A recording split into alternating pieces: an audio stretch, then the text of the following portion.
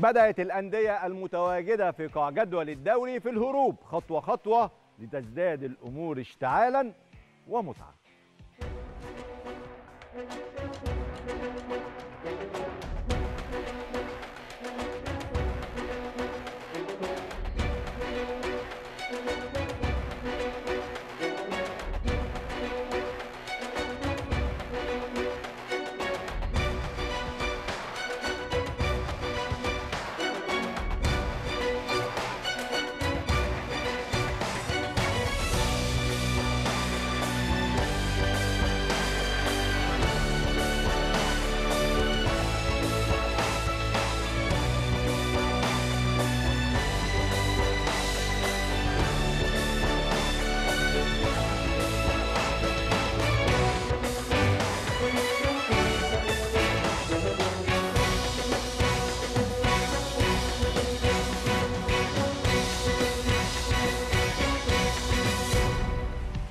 أمس فاز فريق الداخلية وقابله الإسماعيلي واليوم يحقق حرس الحدود اول انتصار ومعه فوز جديد لأسوان. كل نقطة دلوقتي بقى ليها ثمنها والخسائر المجانية ما بقتش متاحة.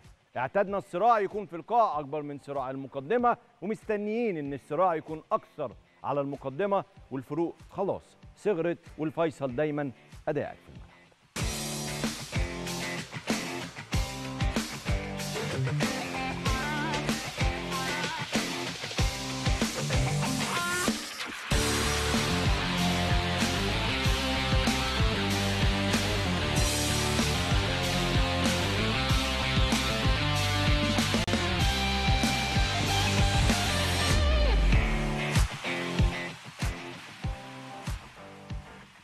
يا أهلا بحضراتكم حلقة جديدة من رقم 10 من شوية كان في حادث صعب شويتين. مباراة الأهلي والاتحاد في كرة السلة على ملعب حسن مصطفى صالح حسن مصطفى المغطاة والسور الحديدي وقع بجماهير الاتحاد.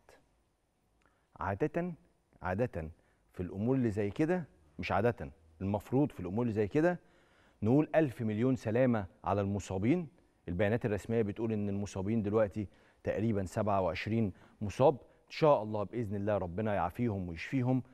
مش محتاج بقى دلوقتي لا تجويد ولا كلام ولا جدال ولا أي حاجة. الحمد لله الحمد لله الحمد لله من ستر ربنا علينا إنه مفيش أي حالات وفيات. إن شاء الله تفضل الأمور على كده وتعدي على خير. هي حادثة زي أي حادثة. بعد ما نخلص ونطمن إن شاء الله على المصابين نشوف بقى في مشكلة كان في السوق الحديدي ولا هي الموضوع قدري بشكل تام ولا؟ بس واضح إنه ما كانش فيه خناقة ما كانش فيه مشكلة. فإن شاء الله الأمور تعدي على المصابين بخير. ربنا يا رب يطمن أهاليهم وأسرهم والأمور تعدي دون أي أضرار بإذن الله وتبقى الأمور بسيطة. طيب بعد شوية هيبقى معانا آه البيانات الرسمية الخاصة بهذا الأمر. بس حبيت في البداية أقول ألف مليون سلامة على كل المصابين. طيب معانا عبر الهاتف الآن الأستاذ محمد الشاذلي مدير الاعلام بوزارة الشباب والرياضة يطمنا على الوضع حتى هذه اللحظة. أستاذ محمد مساء الخير مشرف ومنور. مساء النور يا أستاذ كريم أهلا بيك يا فندم. الوضع حتى هذه اللحظة بالنسبة للمصابين. طمنا من فضلك. الحمد لله الوضع مطمئن جدا الحمد لله. مع الوزير موجود دلوقتي في مستشفى الشيخ زايد وكان موجود قبلها في مستشفى أكتوبر. مؤمنة على الحالات من أول لحظة تواجدوا فيها في المستشفى.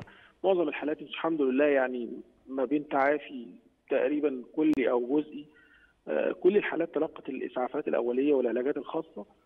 100% من الحالات ما فيش الحمد لله إصابات خطيرة. الحمد لله. أخطر حاجة في الإصابات هي عبارة عن كسور أو كذا نتيجة سقوط هذا ال ال الستاند أو اللي بيسموه في الإعلام حتى البرتكابل بتاع الكاميرات ده اللي وقع.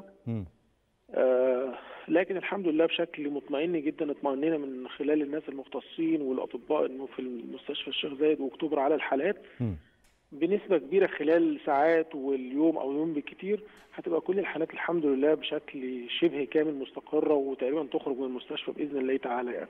طيب أنا أنا مش عايز أخش في تفاصيل كثيرة غير اللي أنت طمنتنا بيه دوت وبنقول كلنا إن شاء الله يا أستاذ محمد الأمور تبقى أحسن الساعات اللي جاية ويطلعوا كلهم بإذن الله يعني معافين سالمين من المستشفى. عشان كده مش حابب أخش بقى في في قصص وحكايات.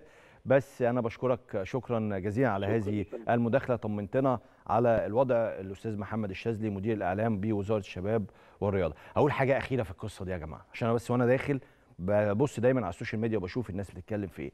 في الأمور اللي زي دي في الأمور اللي زي دي عادة وفي كل الأوقات محدش يقرر يقول حاجة دمها تقيل. ليه دمها تقيل؟ يعني اللي هو أصل مش عارف السوق حصل فيه إيه أصل مين زق مين أصل مين ما عملش إيه. مفيش أي حاجة من دي حصلت. نطمن على الناس نطمن على المصابين ولو في خطأ لو فرضا في خطأ نبقى نعرفه بعد كده. بس نطمن على الناس. مش محتاج كلام كتير ومش محتاجة تجويد ومش محتاجة ملي. يعني ما نقعدش نملي في نملى في الكلام دوت ببساطة شديدة يعني. ربنا يا رب يشفيهم ويعافيهم. بإذن الله ما يبقاش في أي نوع من أنواع الحوادث ديت بإذن الله في بلدنا في أي لعبة بإذن الله. النهارده في الدوري المصري الممتاز كان في مباريات في منتهى القوة في الجولة التاسعة. أسوان النهارده بيحقق فوز على إنبي 2-0 الفوز أو الخسارة الأولى لإنبي بعد رحيل الكابتن أحمد كشري وفوز يبعد شوية يبعد كتير أسوان من منطقة أو صراع الهبوط. والنهاردة غزل المحلة وفاركو تعادلا سلبيا.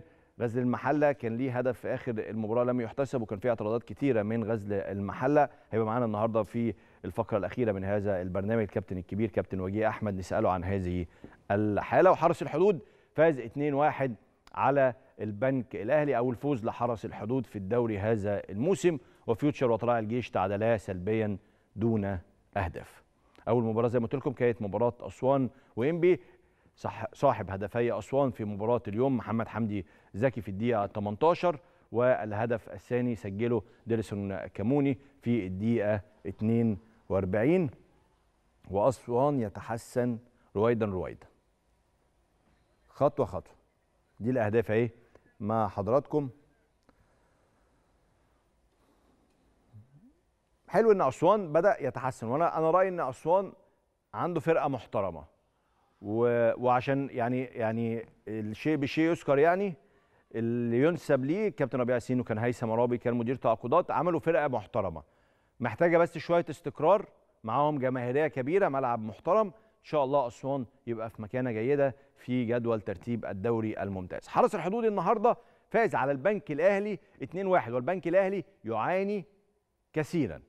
هدف أول لمصطفى جمال تقدم به للحرس في الدقيقة 41 من ركلة جزاء. وكريم بامبو. آه، تعادل للبنك الأهلي في الدقيقة الثانية من الوقت المحتسب بدلا من الضائع في الشوط الأول من ركلة جزاء أيضا. وبعد كده أحمد فتحي فيليكس سجل هدف الفوز لحرس الحدود في الدقيقة 55 عشان يبقى أول ثلاث نقاط لحرس الحدود في الدوري. وعلى فكرة حرس الحدود برضو عنده فرقة محترم فرقة محترمة ومدرب محترم الكابتن أحمد أيوب. بس كان عندهم سوء حظ كبير جدا في معظم المباريات. وعنده نواقص. يعني الكابتن أحمد أيوب مدير فني لحرس الحدود عنده نواقص محتاج يشتغل عليها في يناير محتاج المهاجمين اللي يخلصوا الهجمات. بيوصلوا كتير للمرمى حرس الحدود ولكن ما بيعرفوش يفنشوا. ده ليه علاقة بكواليتي الناس اللي موجودة في الخط الأمامي. يقدر حرس الحدود يخش يناير ويشتري أو يعمل تدعيمات جيدة في الخط ال- الهجومي ويتحسن أو تتحسن معاها النتائج. حلو الجون. حلو حلو حلو قوي غزل المحله النهارده زي ما قلت لكم تعادل سلبيا مع فاركو دون أهداف. أول نقطة لفاركو مع الكابتن إيهاب جلال. والأمور بالنسبة لغزل المحله هي أمور جيدة ومستقرة. زي ما قلت- زي ما قلت لكم كان فيها اعتراضات كتير النهارده مع نهاية المباراة. على هدف لم يحتسب.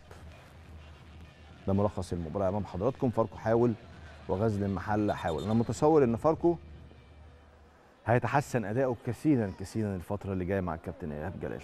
الكابتن إيهاب جلال مدرب عايز فرقة ما حدش يضغط عليه تصبروا عليه وما يبقاش فيه أي مشاكل. ده الجون اللي بقول لكم اللي عمل الأزمة في نهاية المباراة هدف لغزل المحلة. زي ما قلت لكم الكابتن وجيه أحمد هيبقى معانا في الفقرة الأخيرة. نسأله على هذا الهدف ونساله عن سبب الغائه أنا عادة ما بحبش أعلق على أي لقطات تحكيمية ومش علق برضه.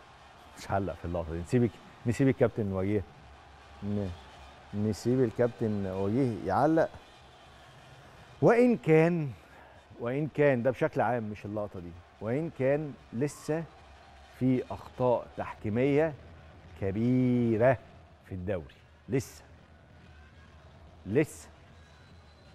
وعايزين الأمور عايزين الأمور تتحسن شوية. لسه ما اتحسنتش وهقول لكم حاجة بدري بدري. بدري بدري. الدنيا بتعدي دلوقتي. آه اللي يتضايق يتضايق واللي يزعل يزعل بس بتعدي. لما بنيجي في الآخر مفيش حاجة بتعدي. اللي بيزعل بيزعل قوي واللي بيتنرفز بيتنرفز قوي. طيب إحنا مش عايزين كل ده يحصل أصلا. لا عايزين حد يعترض ولا عايزين حكم يغلط ببساطة. آه الأخطاء هتفضل موجودة طول الوقت. بس ما تبقاش أخطاء جسيمة يعني أخطاء واضحة. تقيلة يعني دمها تقيل.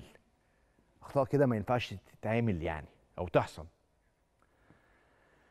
ماشي. ماشي.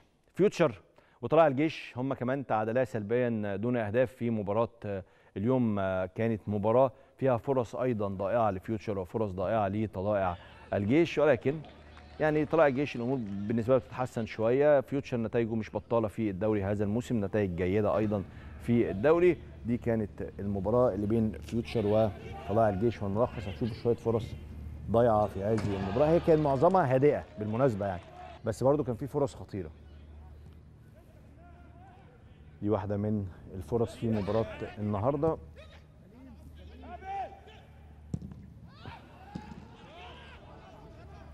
طلائع الجيش عنده فرقة حلوة قوي على فكرة. كده كده فيوتشر عنده فرقة تقيلة.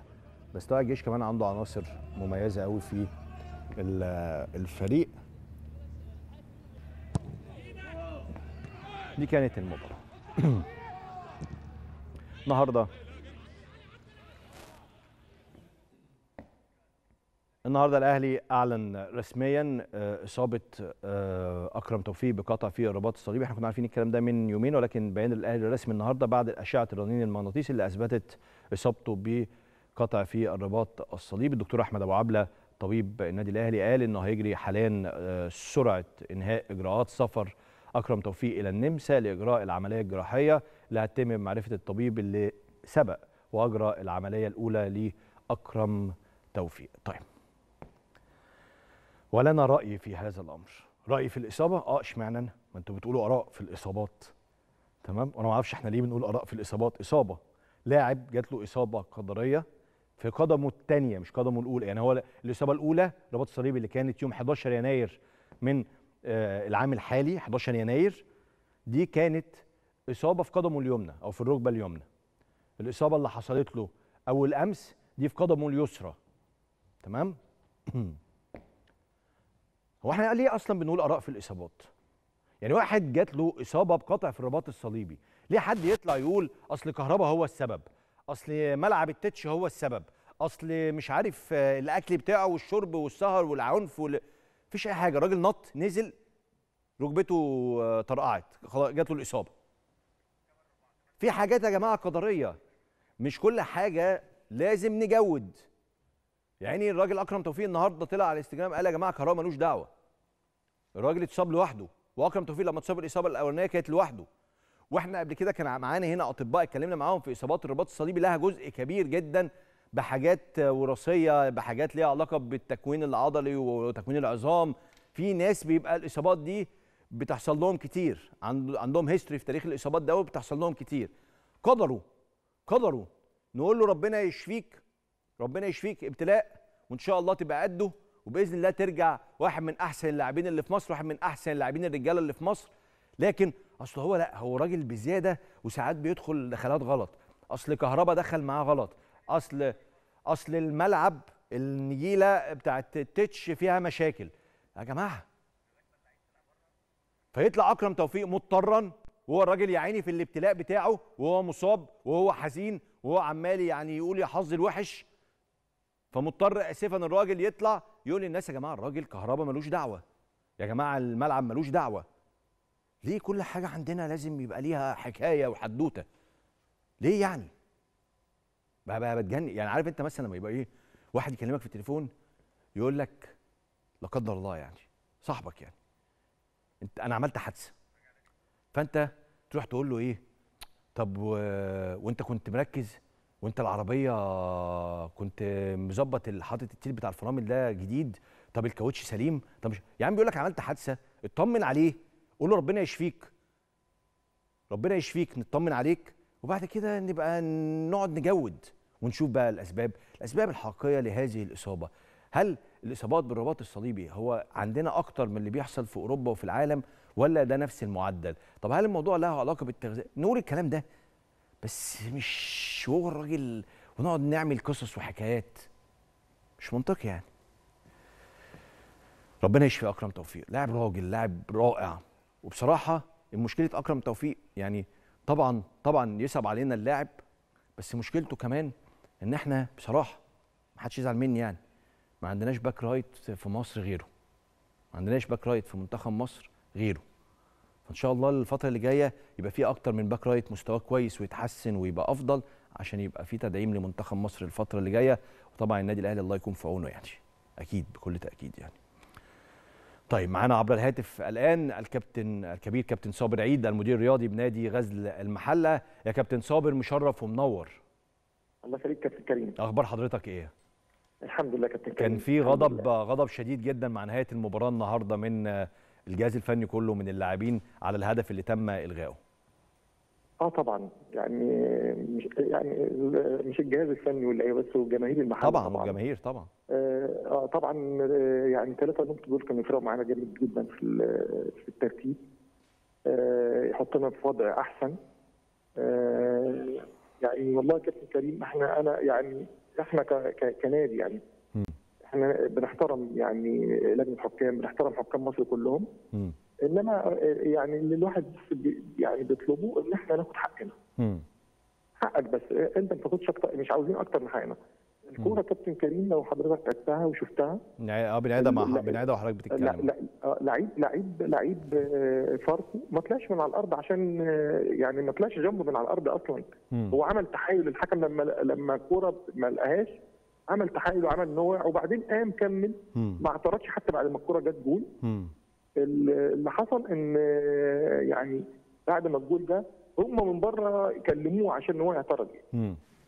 بس إنما الكورة أنا يعني يعني معظم الناس اللي شافوا الماتش وكده وبعض الحكام كلمونا إن الكورة جول ما فيهاش أي حاجة.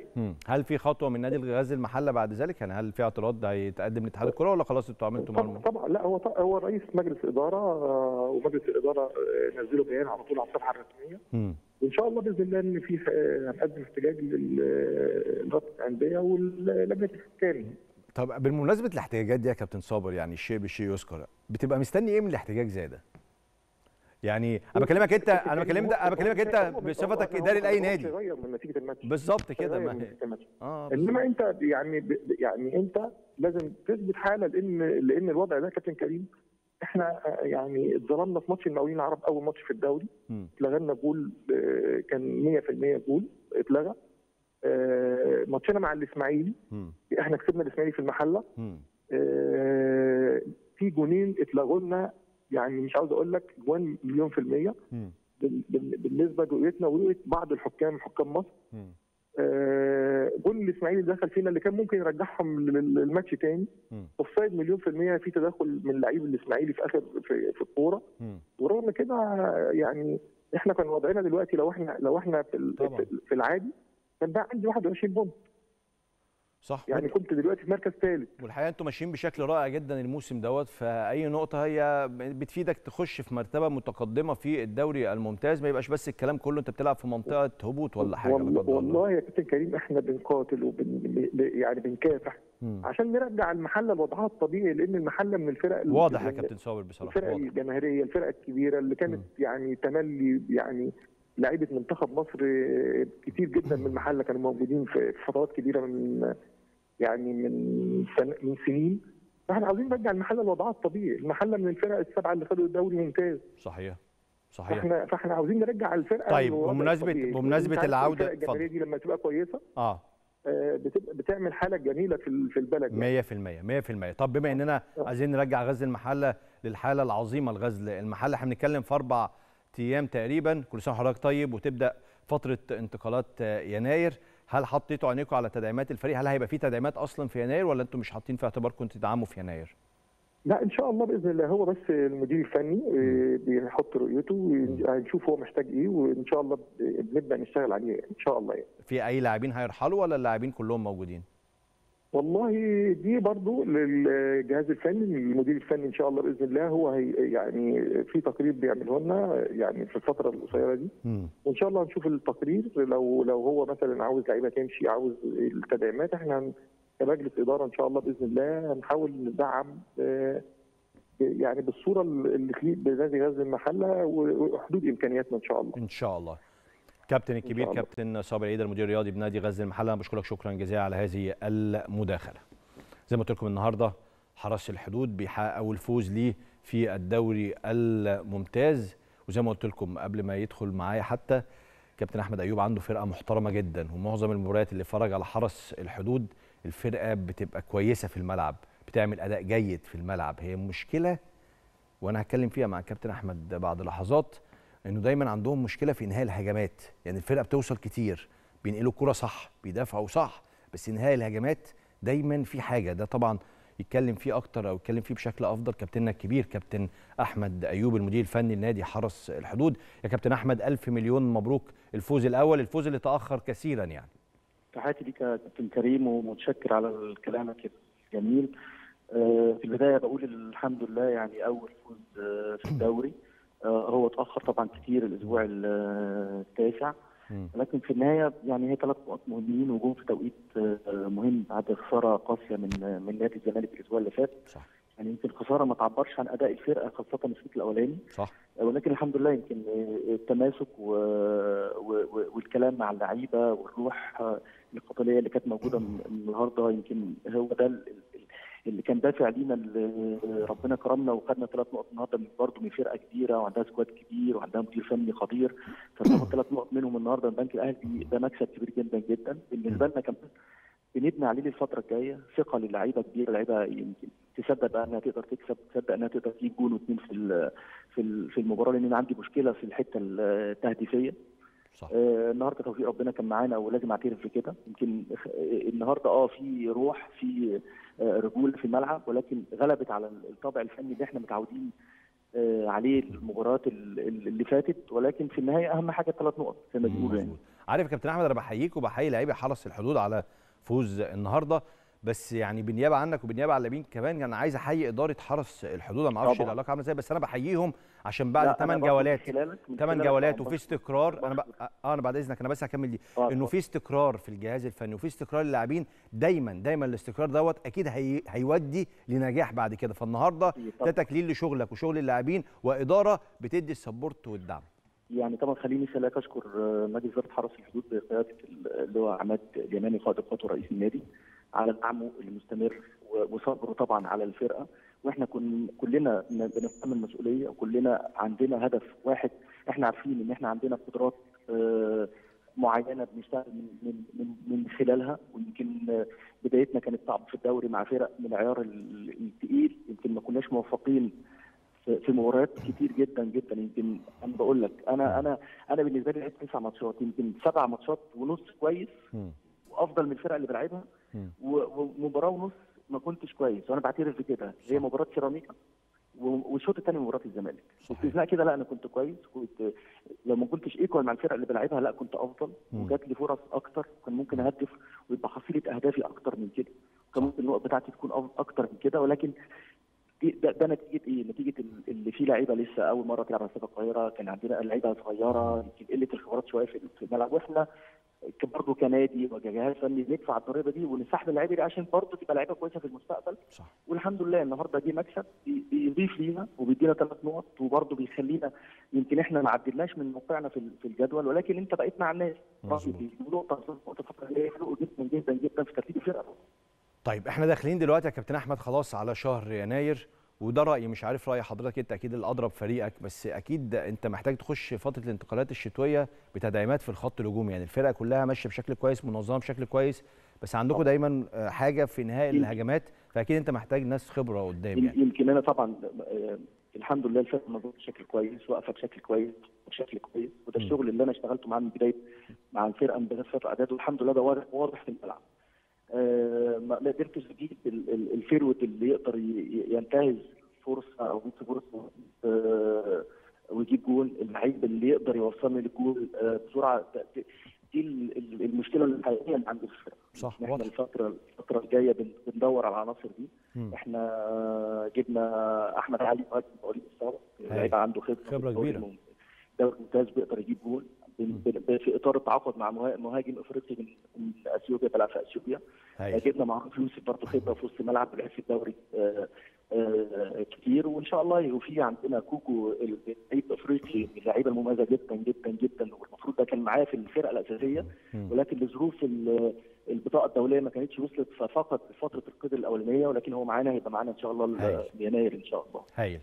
كل التوفيق يا كابتن أحمد الفوز الأول بهنيك. عليه أنا بشكرك شكرا جزيلا كابتن أحمد أيوب المدير الفني لفريق حرس الحدود. بص الفكرة أنت بتتكلم على مدير فني بعد 8 جولات هو موجود في الدوري الممتاز مكمل شغله ما حققش أي انتصار سوى اليوم في أول مباراة بس إدارة مديه الفرصة اديني الفرصة. بتتكلم في سبع مدربين رحلوا عن أندية في الدوري الممتاز بعد 8 جولات. عشان كده أنا حييت الكابت أو حييت إدارة حرس الحدود والكابتن أحمد أيوب معايا. عشان إدارة تانية أكيد ما كانش هتستنى على الكابتن أحمد أيوب ولا الجهاز الفني. بتكلم كابتن علاء عبد العال رحل من طلائع الجيش بعد ثلاث جولات. كابتن محمد يوسف تولى المهمة بعد منه وبعد كده نونو الميدا رحل عن تدريب فاركو بعد سبع جولات. تولى الكابتن إيهاب جلال المهمة بعديه. كابتن ايهاب جلال أصلا كان رحل عن تدريب المصري بعد أربع جولات وتولى كابتن طارق سليمان مؤقتا وبعد كده الكابتن حسام حسن وكابتن خالد جلال رحل عن تدريب البنك الأهلي. بعد خمس جولات تولى بدلا منه الكابتن حلمي طولان. وطبعا الإسماعيلي مش هيبعد عن القصة دي. لو هنتكلم على إدارات بتمشي مدربين بسرعة فأكيد الإسماعيلي أنا موجود. خوان كارلوس جاريدو رحل عن تدريب الإسماعيلي بعد ست جولات تولى بدلا منه الكابتن أيمن الجوه... أيمن الجمل اللي نتمنى له كل التوفيق. وأيضا الكابتن أحمد كشري رحل عن تدريب إنبي بعد 8 جولات تولى بدلا منه الكابتن هاني عبد الله ده غير طبعا الكابتن ربيع ياسين اللي لسه بيقول بسم الله الرحمن الرحيم مع أسوان ومشي بعد ثلاث جولات وتولى بدلا منه كابتن أيمن الرمادي. تخيل مدرب بيمشي بعد ثلاث جولات يعني عامل فترة إعداد وجايب لعيبة وهو اللي مختار اللعيبة يلعب ثلاث ماتشات امشي. طب ما يعني لسه لسه. هو في توفيق وفي ظروف وفي لعيبة بتطبق على بعض وفي فريق بيلعب مع بعض وفي انسجام وفي كيمستري وفي تفاصيل كتيرة. عشان كده أنا بحيي إدارة حرس الحدود. أكتر 8 جولات مفيش انتصار واحد بس يجي النهارده يبقى فيه انتصار فيبقى تكليل لشغل الإدارة اللي فاهمة شغلها اللي سابت الفرصة للمدير الفني اللي وثقت فيه. طبعا أنا ما بتكلمش على إدارة الحرس الحدود آه، اللي بيديروا الكورة في حرس الحدود كأسماء ولا بتكلم على الكابتن أحمد أيوب كمدير فني. أنا بتكلم على المنطق. المنطق اللي فيه كثير من الاحترافية. كثير من الاحترافية. نفسي معظم الفرق تفكر كده يعني. طيب نروح ليه اخبارنا النهارده وأحمد آه، مصطفى زيزو أفضل لاعب في الدوري المصري أو في الكرة المصرية الموسم اللي فات العروض بطبيعة الحال طول الوقت موجودة بالنسبة له. الراجل دلوقتي عنده ثلاث عروض خارجية عرض من نادي سعودي عرض من نادي إماراتي وعرض من نادي نانت الفرنسي اللي بيلعب فيه مصطفى محمد. لكن العروض دي كلها حتى هذه اللحظة هي عروض شفهية. من جانبه نادي الزمالك بيرفض تماما تماما رحيل زيزو في الوقت الحالي ومستمر مع الفريق نادي الزمالك. أنا قلت لكم العروض بس ده العادي. ده العادي. ده العادي. طيب. في لاعب بيلعب في الدوري المصري اللاعب ده من اللعيبة اللي ممكن تتحط بين قوسين الجملة الشهيرة اللي هي اللعيب الاندر ريتد اللعيب اللي مش واخد حقه. مع أي نادي اشتغل معاه هو مؤثر. بصراحة عشان أبقى أمين. ما بيبقاش عنده استمرارية طول الوقت بس دايما مؤثر. دايما مؤثر. ممكن تبقى إصابات ممكن غيابات تنقلات كثيرة في الأندية ممكن تأثر على مشواره ولكن لاعب كل المدربين اللي اشتغلوا معاه كل المدربين اللي شافوه بيتعاملوا معاه إن هو لاعب مميز جدا. عشان كده هو ورقة ورقة الناس في كثير من الأندية يحبوا دايما يشتروه ويتعاقدوا معاه عشان يبقى مفيد لفريقهم. أنا أتحدث عن محمد حمدي زكي صاحب ثلاثة أهداف مع أسوان اللي خد أحسن لاعب مرتين في الدوري هذا الموسم في مباراتين. كابتن محمد حمدي زكي مشرف ومنور بهنيك النهارده وأداء رائع جدا طوال الموسم. حبيبي يا كابتن كريم طبعا شرف ليا أكون مع حضرتك وشكرا على الكلام الجميل ده. ده أقل من حقك. آه. حبيبي ربنا يخليك. هم الجو- أربعة مش ثلاثة بس مبدئيا طب حلوين حلوين حلوين. طيب أربع أهداف. أنا اللي عديت غلط. يعني بعد ما بعد ما قعدت أقول المقدمة دي كلها بعد ما قعدت آه. المقدمة دي كلها راحت حاجات وقعت مني. لا. عادي عادي. يا ربنا يزيد. ما جاتش في واحد. ربنا يزيد يا كابتن محمد الهدف النهارده كمان حلو قوي حبيبي ربنا يخليك يا رب. مبروك علينا كلنا ان شاء الله الحالة مع أسوان حلوة. أسوان كمان بصراحة الدنيا فاتت البداية ما كانتش أفضل حاجة ولكن الدنيا جاب انتصار جاب انتصار والنتائج تحسنت وبعدتوا شوية كتير عن منطقة الصراع مصراع الهبوط. أه والله الفترة الأولانية كانت الدنيا يعني لسه مش ظاهرة قوي الفرقة لسه يعني مفيش انسجام بين الفرق أنت عارف إحنا لسه مجمعين الفرقة. وبرضه غيرنا الجهاز الفني بعد أول ثلاث أربع ماتشات. فالدنيا ما كانتش مستقرة خالص يعني. لحد ما جه كابتن أيمن بصراحة هو اللي خلق الحالة دي بين اللعيبة. حاول يجمع أكبر يعني أكبر تشكيلة ممكنة ممكن تبقى موجودة في الدوري. آه الحمد لله الفترة اللي فاتت مركزين جدا الراجل شغال معانا وتعب معانا جدا وده باين طبعا في الملعب. فيا رب كمل على خير يا رب إن شاء الله. الفرقة يعني الفرقة فيها انسجام وفي أكتر من عنصر يا كابتن محمد وأنا أنا بتعامل بقى دلوقتي بقى مع لاعب عنده خبرات كبيرة. الفرقة تحس إنها مكتملة يعني دفاعيا هي ماشية بشكل كويس في وسط الملعب جيدة هجوميا كمان فيها عناصر مميزة قوي أه والله أنا لسه بقول لك يعني لسه بقول لك دلوقتي الكابتن فعلا يعني يعني محتار عنده ناس بره عنده ناس بره كمان لسه يعني ناس لما تلعب برضه هت- هتشوف هتشوف اختلاف كبير جدا يعني. أه بتبقى ظروف ماتشات الحمد لله الراجل بيختار أجهز ناس بتبقى موجودة مثلا من وجهة من وجهة نظره هو. أه واللي بينزل برضه بيبقى ما شاء الله بيبقى كويس جدا. فالحمد لله يعني ده ده فضل ونعمة من ربنا يعني الفرقة ماشية بالشكل ده يعني. بقيت انت دلوقتي واحد من هدافين الدوري الممتاز م target م target الهدف ده يعني عندك الهدف ده انك تبقى هداف الدوري في هو؟ أنا هو أنا في الأول بصراحة ما كنتش ب target يعني آه. أنا أبقى كويس ولازم أجيب أهداف يعني صح بس واحدة واحدة الطموح بيعلى شوية يعني آه. آه. خصوصا أنا كنت قبل كده هداف الدوري بس ما كملتش يعني قبل ما أمشي من الاتحاد أروح الأهلي ف صح. يعني كانت برضه في نفس المستوى كده كان كل ماتشين ثلاثة مثلا بجيب جول بجيب جولين فالطموح بيعلى فإن شاء الله يعني الواحد يبقى مركز بقى في الموضوع ده بس أهم حاجة الفرقة تبقى ماشية كويس. وإن إحنا نكسب يعني. الطموح بيعلى له علاقة كمان بمنتخب مصر؟ أكيد أكيد. ده شرف لأي حد يبقى موجود في المنتخب يعني. آه. فالواحد بس يعني يشوف يشوف ال ال ال أهم حاجة النادي يبقى ماشي في النادي كويس. صح. وكل خير بعد كده هيجي يعني إن شاء الله. كابتن محمد حمدي زكي هداف أسوان صاحب الأربع أهداف في الدوري حتى هذه اللحظة في هذا الموسم. أنا بشكرك. شكرا جزيلا على هذه المداخلة. دي أهداف محمد حمدي زكي و... وإحنا بنتكلم. على فكرة مهاجم حلو قوي وعنده عنده قدرات كبيرة جدا. تأخر بعض الشيء وفترات انتقاله ما كانش فيها كثير من الاستقرار ولكن هو كقدرات فردية هو قدرات فردية رائعة جدا. خلال الساعات الماضية قامت شركة تسويق لاعبين بعرض الكاميروني فينسنت أبو بكر مهاجم النصر السعودي على الزمالك. نادي الزمالك وافق طبعا مبدئيا على الفكرة فكرة ضم فينسنت أبو بكر لكن القيمة المالية للاعب اللي هتدفع لنادي النصر بجانب عقد اللاعب اللي يصل إلى 6 ملايين دولار سنويا بيخ بيجعل الصفقة مستحيلة. عشان كده مسؤولي نادي الزمالك بياخدوا خطوات أو ما خدوش خطوات جدية وفضلوا غلق الملف مبكرا. خد بالك فينسنت أبو بكر اتعرض قبل كده على الأهلي اتعرض قبل كده على الزمالك وكان متألق جدا في كأس العالم مع المنتخب الكاميروني. وسجل هدف الفوز طبعا الفوز الشهير على المنتخب البرازيلي. بس أنت بتتكلم في واحد يا جماعة صعب تدفع فلوسه. أنا مش عارف ليه كل شوية الموضوع يعني ليه ليه وكيل لاعبين أو شركة تسويق تيجي تقرر تقول أنا هجيب اللاعب دوت للزمالك قبلها هجيب اللاعب ده للأهلي. ما هو برده مش لاعب قليل. أنا فاهم إن كريستيانو خلاص قرب للنصر فعشان كده فينسنت ابو بكر ممكن ما ياخدش مكانة أساسية فيبقى راجل عايز يلعب في الدوري المصري. فهو كده أصلا فينسنت ابو بكر لو قعد على الدكة لكريستيانو رونالدو مش هيبقى متضايق يعني. أهو فينسنت ابو بكر فص يعني يبقى الموضوع صعب يا جماعة. أنا بس قلت لكم الخبر عشان ده حصل فعلا. على طاولة نادي الزمالك شركة تسويق لاعبين جم قالوا لهم هنجيب لكم فينسنت ابو بكر كام يا جماعة؟ ب 6 مليون دولار. يا جماعة ما تهزروش اطلعوا بره. فاهم؟ من الآخر يعني. إحنا مش هندفع ست مفيش نادي في مصر يدفع الرقم ده يعني.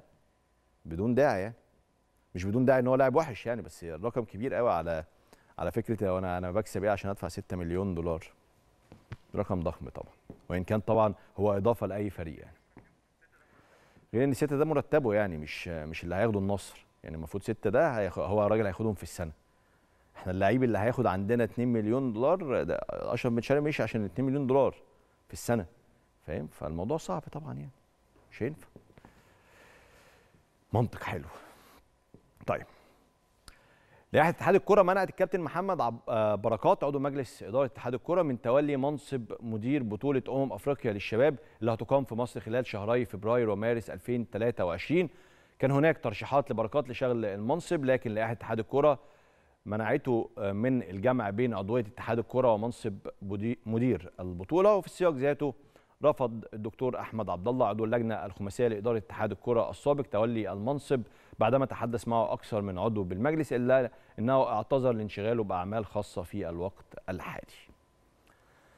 ده خبر ينفع يعدي بس الخبر اللي جاي ده مش هيعدي. جمال علام رئيس الاتحاد المصري لكرة القدم قرر إلغاء الإشراف على المنتخبات الوطنية من جانب أعضاء المجلس رافضا سياسة المجالس السابقة بتعيين كل عضو من أعضاء المجلس كمشرف على كل منتخب من المنتخبات سواء الناشئين أو الأولمبي أو الأول. ده الخبر. تمام؟ التعليق. أو مش التعليق الكواليس. معروف حازم إمام مشرف على المنتخب الأول. معروف الكابتن محمد بركات مشرف على المنتخب الأولمبي. هل حضرتك شايف في ده عيب أو شايف ده حاجة في حاجة غلط؟ وحازم إمام بتاع الكورة بيشرف على المنتخب الأول بخبراته الكبيرة. محمد بركات بتاع الكورة بيشرف على المنتخب الأولمبي بخبراته الكبيرة في الكورة. الحكاية فين؟ الأستاذ جمال علام كان عايز يبقى هو هو جاب فيتوريا وقال له أنا هبقى مشرف على المنتخب الأول زي كل رؤساء الاتحاد السابقين. طبعا الموضوع دوت ضايق الكل. فأستاذ جمال علام قال خلاص لا أنا أتضايق ولا أنت تتضايق. مفيش أصلا أعضاء من اتحاد الكره يبقوا مشرفين على المنتخبات. اللي هو فيها لك فيها. يعني لو مش موجود خلاص يبقى كلنا مش موجودين. الأمور ما بتدارش كده. كل الاحترام طبعا الاستاذ جمال علام كل الاحترام لحازم إمام كابتن حازم إمام وكابتن محمد بركات. بس يعني هي مش تورتة كلنا بندور عليها ببساطة يعني. إلا إلا لو هناك في اللائحة لائحة اتحاد الكورة بتقول حاجة ان رئيس اتحاد الكورة هو المشرف على المنتخب المصري الأول. بتاعك. أو مثلا أستاذ جمال علام يبقى هو مثلا أسطورة كرة القدم المصرية أو له خبرات كبيرة في ملاعب كرة القدم فيبقى هو المشرف على المنتخب الأول. ماشي. لكن إيه اللي يمنع إن حازم إمام يبقى مشرف على المنتخب الأول؟ وايه اللي يمنع إن محمد بركات يبقى المشرف على المنتخب الأولمبي؟ ما أعرفش. ماشي. آه يعني كل حاجة ماشي. بنعدي عارف؟ أنا ببقى جاي الحلقة بقول يا رب يا رب ما ألاقيش حاجات من الحاجات اللي هي بتبقى إيه اللي بتاكل في الدماغ دي اللي هو تبقى أنت مضطر تعلق عليها ومضطر تقول ده صح وده غلط. أنا نفسي الأمور تمشي مثالية. قلت لكم الكلام ده قبل كده. أحلى حاجة أحلى حاجة للراجل بيجي يطلع قدام الكاميرا إن هو عايز يجي النهارده يتكلم على ال 3 4 3 وال 4 3 3 وال 3 5 2 ومين هينتقل لفين ومين هيلعب إزاي. ده أحلى حاجة للراجل الإعلامي بتاع الكورة. بس إحنا مشكلتنا دايما بنروح لحاجات فرعية غصب عننا يعني عشان هي بتبقى هي بتبقى فرعية كأخبار بس هي في قلب الحدث في قلب الموضوع. فربنا يستر. نروح لمواعيد مباريات الأحد إن شاء الله في الدوري المصري الممتاز الجولة التاسعة. الإسماعيلي هيواجه المصري البورسعيدي الساعة 3 إلا ربع. مباراة كبيرة جدا ديربي القناة واحدة من أهم المباريات اللي بتلعب في الدوري الممتاز.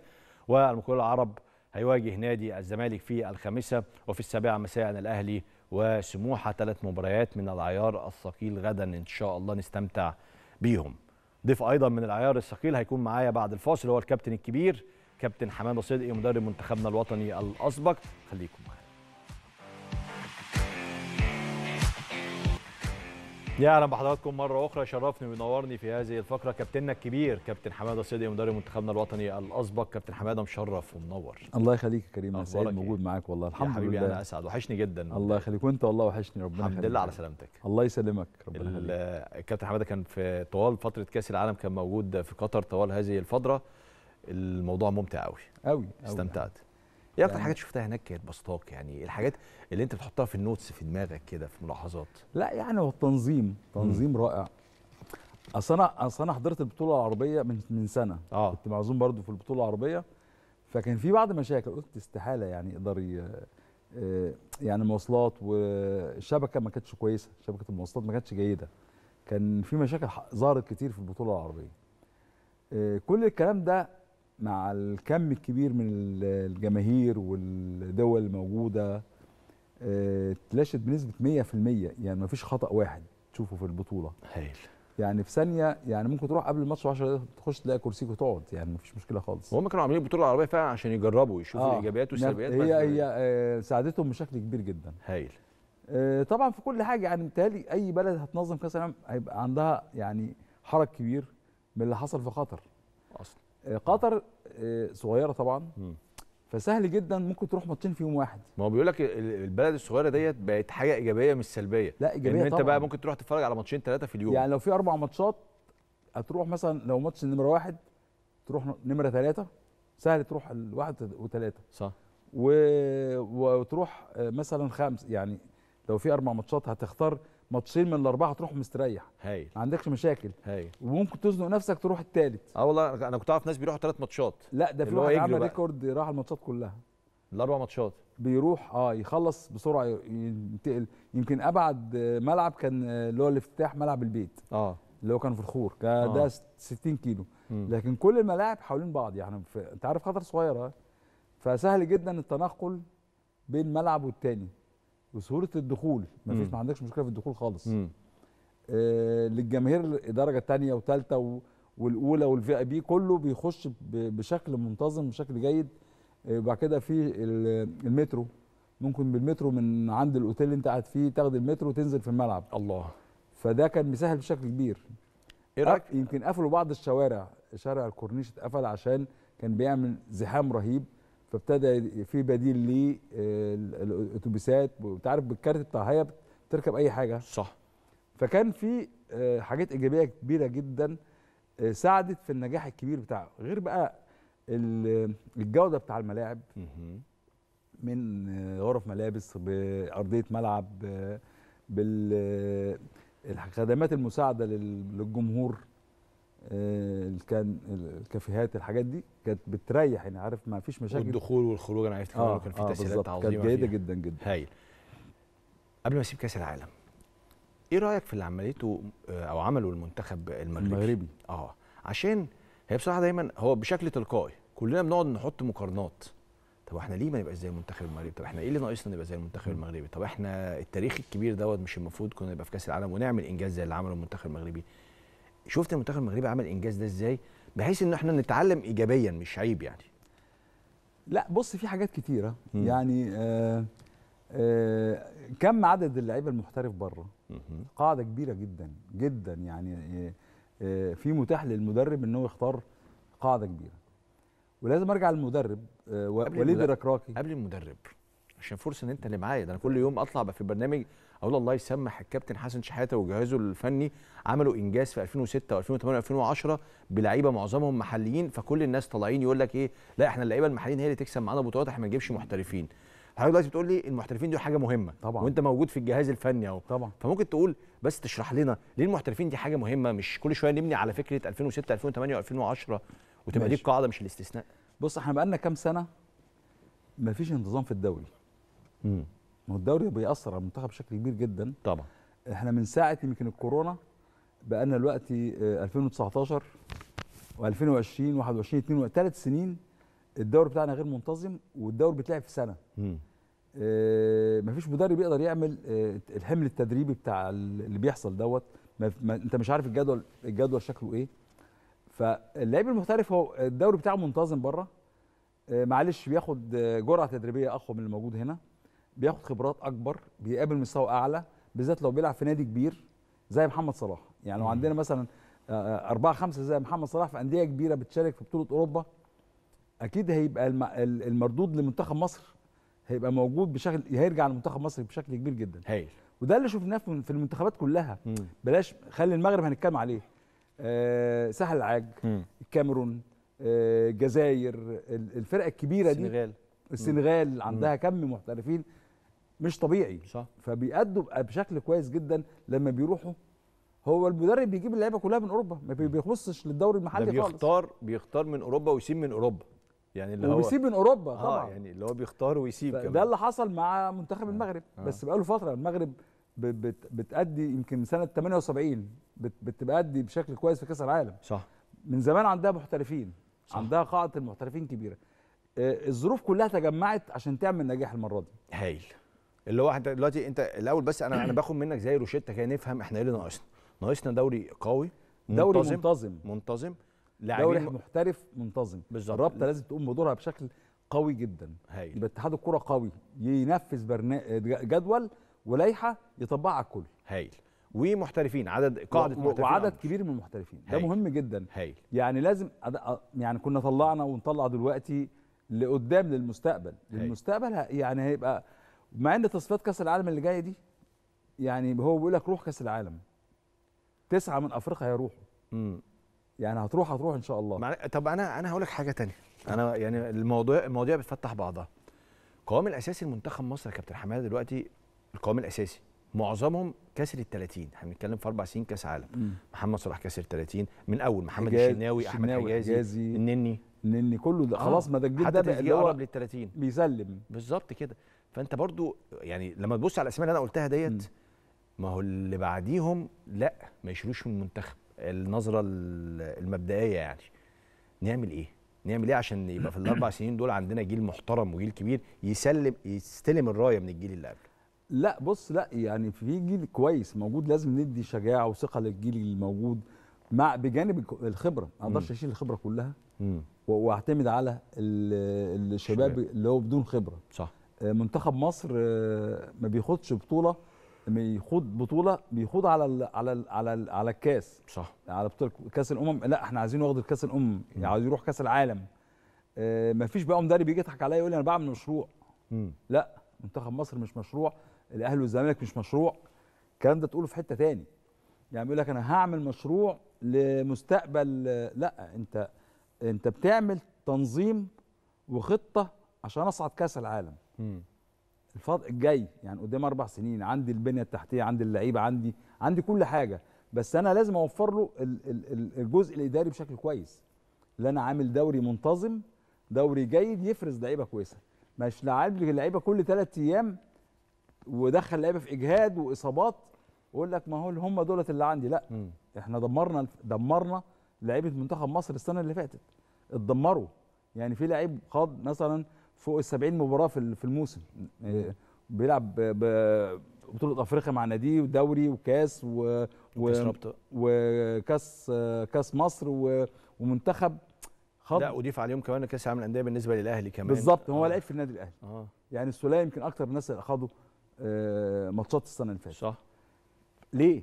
يعني ليه؟ وبعد كده ممكن أخوض بس لازم يبقى عندي فترات راحة متابعة. آه، متباعده عندي ممكن أعمل آه، أضغط الدوري في شهر. في كل ثلاث أيام لكن لازم بعد كده أرجع أنتظم تاني.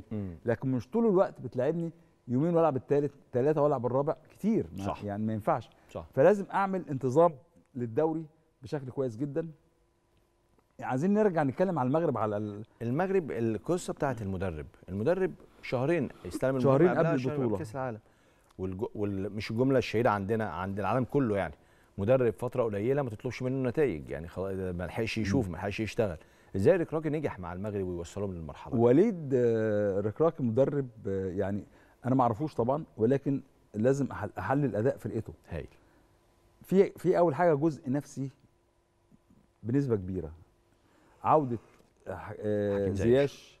عودة مزراوي صح. عودة اناحي في صح. ناس أكتر من لعيب حمد الله وحمد الله. إدى الثقة للعيبة مم. قرب قوي من اللعيبه ده بجانب الجزء الفني الرائع اللي عنده. مم.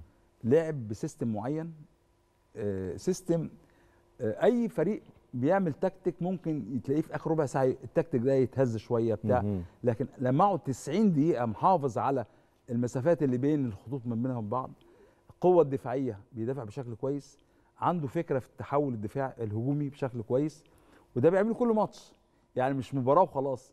من ساعة ما بدأ مع آه، كرواتيا آه، بلجيكا آه، كل آه، كندا صح كل الماتشات اللي لعبها. آه لعبها ب system وتكتيك معين آه، حافظ عليه طول الوقت والنتائج ابتدت تروح عالية للعيبة وحماس للعيبة مع الجمهور مع لعيبة quality كويس يعني آه، مرابط ده من من أقوى defender ات في البطولة.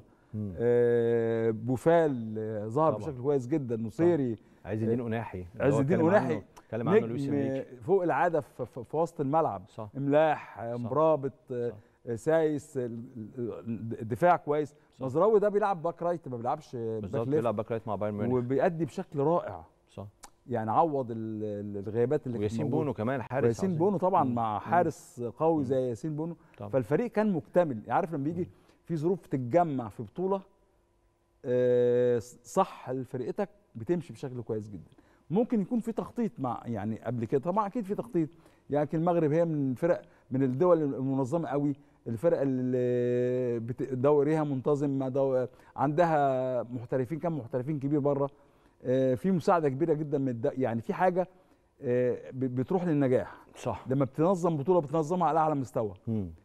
آه، الحتة الإدارية ديت م- عاملة إنعكاس على على الفريق الأول. مم. بشكل كويس. المغرب لما وصلت لانها تبقى رابع العالم هي رفعت الاكسبكتيشنز التوقعات عند الناس كلها دلوقتي إنه منتخب مصر دلوقتي رايح كأس العالم إن شاء الله. فيقول له لأ أنت حاول تاخد بقى المركز الثالث أنت عاوز. تعدي الدور الأول. آه بالظبط يعني خلاص عدت بقى أنت لأ أنا أقصد آه. التوقعات بالنسبة لك لمنتخب عربي بيشارك في كأس العالم ما بقاش مجرد إنه أرجوك عدي الدور الأول.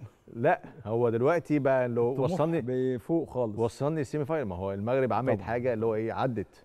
لا مع خلينا بقى عايشين على أرض الواقع مش عايزين آه. نحلم قوي آه آه، أنا عارف لما المغرب كل ما بتكسب ماتش وبتعدي آه، بلاقي نقد لمصر آه لا في حاجات كتيرة لسه عايز إحنا بنصلح لسه عايزين نعمل يبقى في تفعيل لرابطة أندية. المحترفين آه، في انتظام في الدوري الدوري يبقى محترف. آه، يتسوق بشكل كويس هنمشي خطوات هتوصلنا لكده لكن مش عايزين ننقد ونضرب جامد دلوقتي مش هنوصل لحاجة. خلينا واقعيين. ونمشي بتسلسل صح عشان نقدر نوصل لكده. إن يبقى عندنا محترفين عندنا دوري كويس عندنا لائحة بتطبق على الكل. طب كابتن حمادة لما انت كنت موجود في الجهاز الفني لمنتخب مصر مع الكابتن حسن شحاتة كنتوا بتقعدوا طول الوقت تقولوا يا ريت كان عندنا محترفين أكتر؟ آه، بص كل وقت وليه كلامه يعني, آه. يعني مش عايز أربط ب... ب... إحنا كان نجح اللي كان منجحنا إيه؟ ال- اللعيبة اللي تحت إيدينا وكان عندنا عدد محترفين قليل مش كتير بره. بالظبط. فاللعيبه ال- القوام الأساسي من مصر فبنقدر نعمل معسكرات بدري شوية بدل خمس أيام نخليهم آه. 10 فاهم. آه كأس الأمم كنا دايما نعمل معسكر 25 يوم. مم. مش مسموح تجيب محترفين من بره يقعدوا معاك 25 يوم. صح. فكنا ال...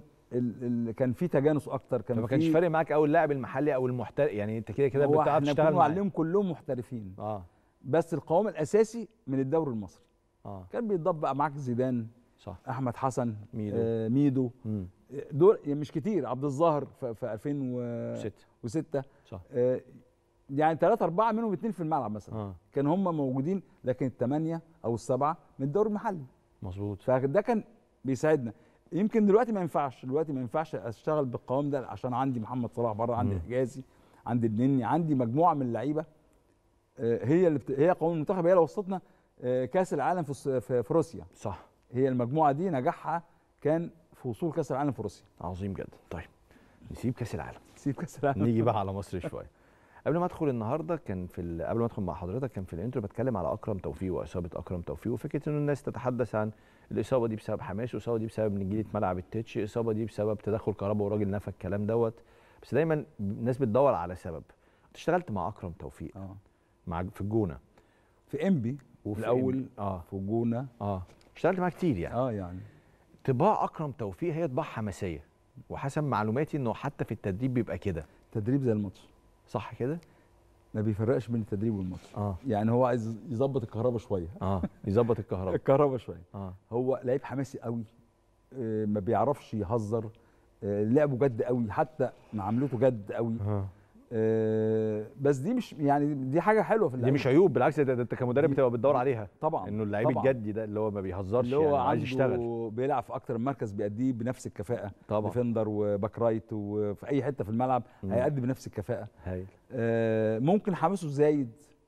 آه، يعني طبعا نادرا ما تلاقي الإصابات دي بره. آه، محتاج آه، يعني آه، العلم تطور بشكل كبير جدا حتى في الإصابات. إزاي بحمي اللعيب. في جهاز موجود في مصر كان الدكتور صلاح عاشور بتاع المنتخب الاولمبي عنده في جهاز ال- ال- الكشف عن الاصابات ال- يعني المبكرة. يعني مستقبليه آه, آه، يعني شوف. العضلة دي نفسها ممكن آه، ممكن تخونك في وقت تأثر على الأربطة. آه. ففي العلم تقدم في كل حاجة بالذات في الجزء البدني والجزء الطبي. آه لازم إحنا نبقى كده لازم يبقى عندنا التطور دوت. ولازم حاله زي اكرم دي تدرس بشكل كويس يعني طبعا أنا مش هعرف أتكلم فيها طبياً آه، طبعاً. طبيا آه. إيه سبب آه، هل ضعف الأربطة وضعف العضلات هو اللي بيؤدي لكده في. حاجات كتيرة طبعا خاصة الإصابة مش في نفس القدم يعني آه. مش هنقول إن هي تكرر إصابة الإصابة القديمة كانت في قدمه اليمنى أو ركبته اليمنى الإصابة الجديدة في ركبته اليسرى للأسف يعني يبقى ده يعني حماس برضو في حاجة لازم تدرس لازم تتحلل بشكل كويس جدا لكن. هو تمرينه زي ماتشه. يعني ما هو- مثلا ده تمرين يا هادي لا هو طريقة لعبه أداؤه كده زي حسام حسن وإبراهيم حسن في لعيبة كتيرة كده بالشكل دوت. المدرب بيحب اللعيبة دي. عظيم جدا. طيب ده بالنسبة لأكرم توفيق. الدوري السنة دي حتى تسع أسابيع في الدوري آه، هو 8 ولا 9 8 داخلين على تسعة خلاص. آه داخلين على تسعة بكره يعني. آه. هل الدوري بالنسبة لك شايفه ممتع حد هذه اللحظة؟ شايف إنه آه، في الفرق دخلت ولا لسه مفيش حاجة بتطلع في الدوري ده وتقول إنه دوري قوي جدا يبقى مفيد لمنتخب مصر؟ يعني بص آه، يمكن الن- النهارده كان يوم مختلف آه، شوية.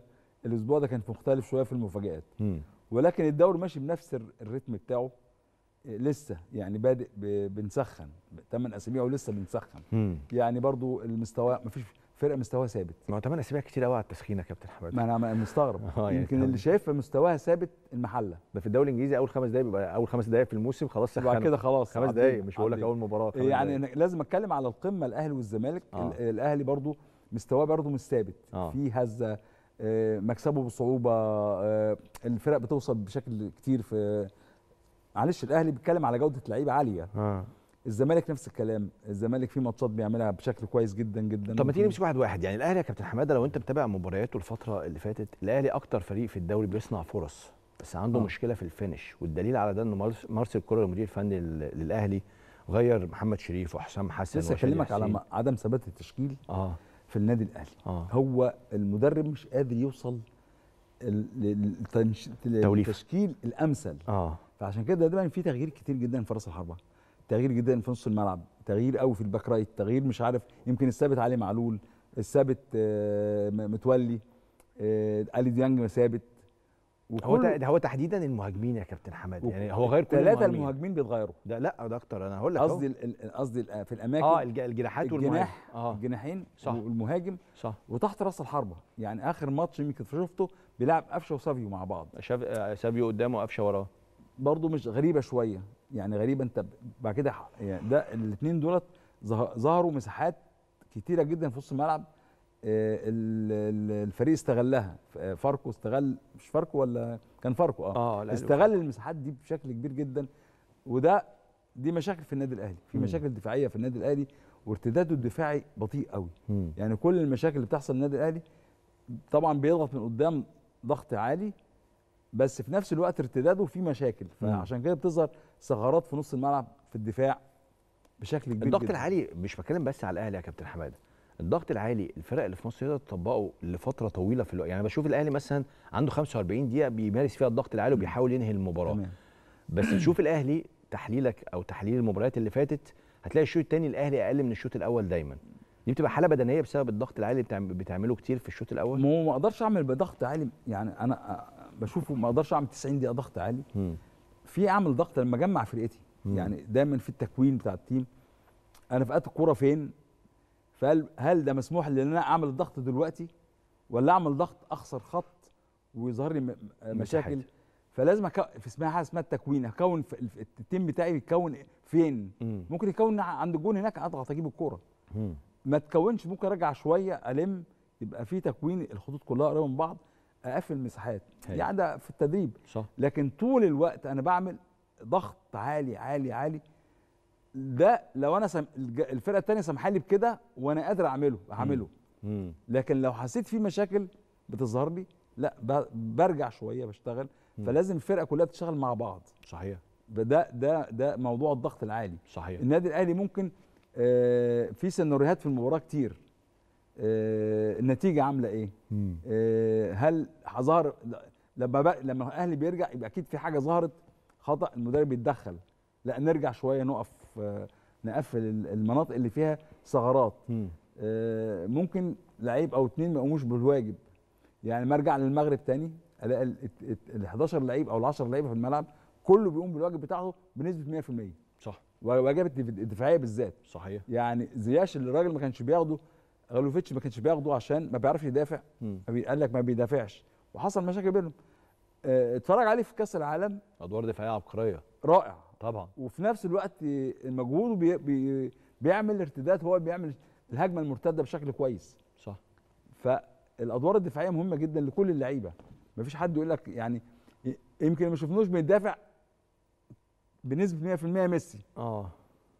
تلاقيه بيتمشى شوية. بيتمشى. بس بيتمشى في دماغه هيروح فين بعد كده ما هو بيقول لك يستلم الكوره عملوا تأييد عن ميسي. قال لك أكتر لاعب في كأس العالم كان بيتمشى كده يعني ما كانش أنا بيجري. قاعد قاعد في المدرج آه. بتفرج على ميسي. آه. يا الكوره شغاله ناحية ثانية أنا بتفرج على ميسي. صح. بيعمل إيه؟ بس. يعني بس عمال يركز على نقاط الضعف. وبعد كده تحركه بقى مدروس بقى راح فين؟ آه. بيروح ياخد الكورة يحل مشكلة وبيعمل آه آه مدهش. قصة. آه، قصة. مدهش. طبعا مدهش، مدهش آه، آه. طيب مين دلوقتي في رأيك يبقى مهاجم النادي الأهلي نقول ده المهاجم الأساسي للنادي الأهلي. من الأسماء كلها اللي ما. بصراحة ما حدش دلوقتي. ولا واحد. مش سبب اللعيب سبب إن الراجل لسه ما- ثبتش على يعني ما اداش فرصة مثلا لحسام حسن فترة ويغلط ويحطه ويسيبه مم. شريف كان بادئ كوي يعني بدأ مع النادي الأهلي كويس جدا وكان الأساسي في الأهلي ومنتخب مصر. حصل له ظروف أيام كيروش ما وما اتخذش استبعده و- وبعده وراح راجع موسيماني بعده برضه من من التشكيل فراح خالص. آه، شادي يمكن شادي جاي مش مش مش مش راس حربة رقم تسعة بيلعب من تحت. يمكن الأهلي محتاج يجيب راس حربة آه، بجودة عالية. الأهلي محتاج راس شوية. حرب. آه. آه. يمكن حسام الثقة مفقودة عنده تماما ما بيلعبش أساسي. آه، شريف ما بيلعبش أساسي. في تغيير كتير في المنطقة دي. بيرسي تاو لما كان لاعب مهاجم عجبك ولا ما عجبكش؟ آه، أخطر ما يكون تحت برضه من بيشتغل يا جناح يا تحت رأس الحربة. لكن ما يبقاش مهاجم. لا. الأهلي محتاج مهاجم. لا. لا اللي يحتاج الأهلي محتاج بص مهاجم. الأهلي والزمالك أنت بتلعب آه، مش دوري محلي بس أنت بتروح في أفريقيا وبعد أفريقيا هتروح كأس العالم انديه يعني في في آه، لازم أجيب اللعيب اللي عندي ده عشان كأس العالم انديه. يعني لمشاركات أفريقيا مش الدوري المحلي. يعني الدوري المحلي ممكن يتقضى بأي حد. صح. صح. لكن في كأس أنت داخل كأس العالم للأندية داخل دوري أبطال أفريقيا. بط- أبطال أفريقيا محتاج فأنت محتاج حد quality عظيم. جودة عالية في طبعا عشان تلعب مع quality كمان عظيم آه بالظبط كده. ده الأهلي. الزمالك من وجهة نظرك هل الزمالك الموسم ده بدايته الموسم ده أقل من نهاية الموسم الماضي ولا شبه بعض؟ أسمع إجابتك بس هروح لفاصل يا كابتن حمادة ونرجع نكمل مع الكابتن الكبير كابتن حمادة الصيدي خليكم معانا يا أهلا بحضراتكم مرة أخرى سألت الكابتن حمادة الصيدي قبل الفاصل هل زمالك بداية الموسم الحالي أقل من زمالك نهاية الموسم السابق ولا الاثنين واحد رأيك يا كابتن حمادة آم، عشان أبقى يعني أمين شوية أنا ما اتفرجتش على الزمالك يعني كتير. كتير الموسم ده يمكن آه. فترة الشهر اللي سافرتها. كان لعب هو أكتر من مباراة اتفرجت عليه بالمسافر واتفرجت عليه ماتش الحرس مم.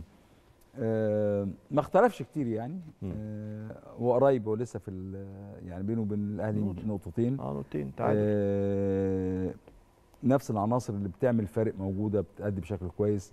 إمام عاشور زيزو قبل ما نرجع من الفاصل قلت لي انت معجب جدا بإمام عاشور. إمام عاشور عجبني جدا. آه. لعيب ديفندر رائع. شايفه شافه شايفه لعيب بره مش مش مش في الدوري المصري. بيعجبني جدا أداؤه. الف- وإحنا في فاصل ده لاعب ريال مدريد عادي جدا.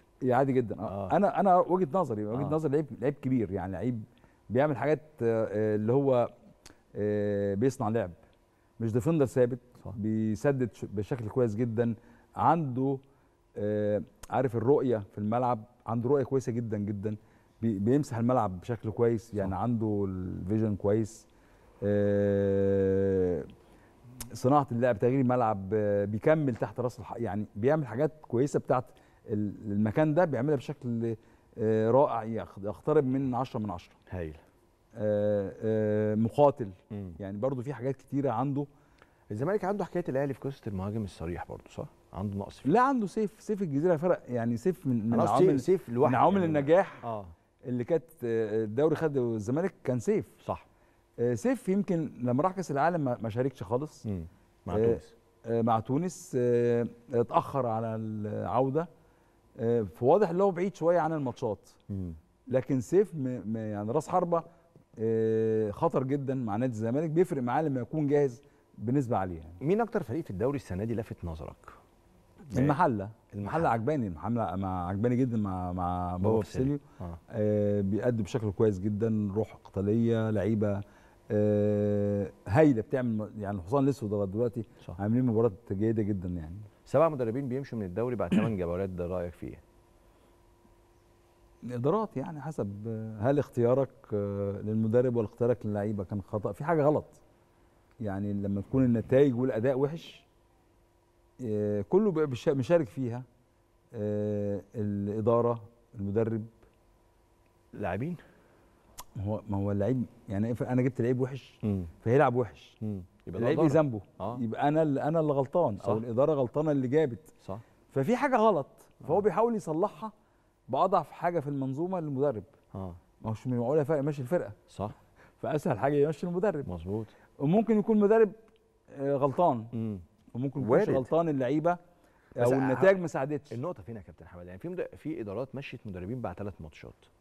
أنا أنا أنا متفاهم فكرة أنا لو بديل نادي وفي مدرب مش موفق بعد كذا ماتش كتير يعني مم. هقول خلاص يعني نشوف مدرب غيره. ده بيحصل في العالم كله مش آه، في مصر. آه بالظبط. بس فكرة هل ثلاث مباريات مثلا لا غير كافيه غير كافيه لو أنا مقتنع بالمدرب وشايفه بيعمل حاجات صح والن... وال... وال... والنتائج مش مساعداه. لكن ممكن الإدارة شايفة إن الله أعلم يعني شايفة الأداء مش جيد آه، مع اللعيبة أو التمرين. امم مش هو ده ال- مع نتائج سيئة. لكن لو أنا أنا كإدارة مدي آه، صلاحية للمدرب وعندي ثقة فيه واخترته على أسس معينة لا هديله كمل. يعني أنا. فاكر في سنة من السنين زمان آه، كابتن طلعت يوسف مع الشرطة أول ما الشرطة صعدت. متهيألي خمس ست ماتشات هزيمة ولا حاجة.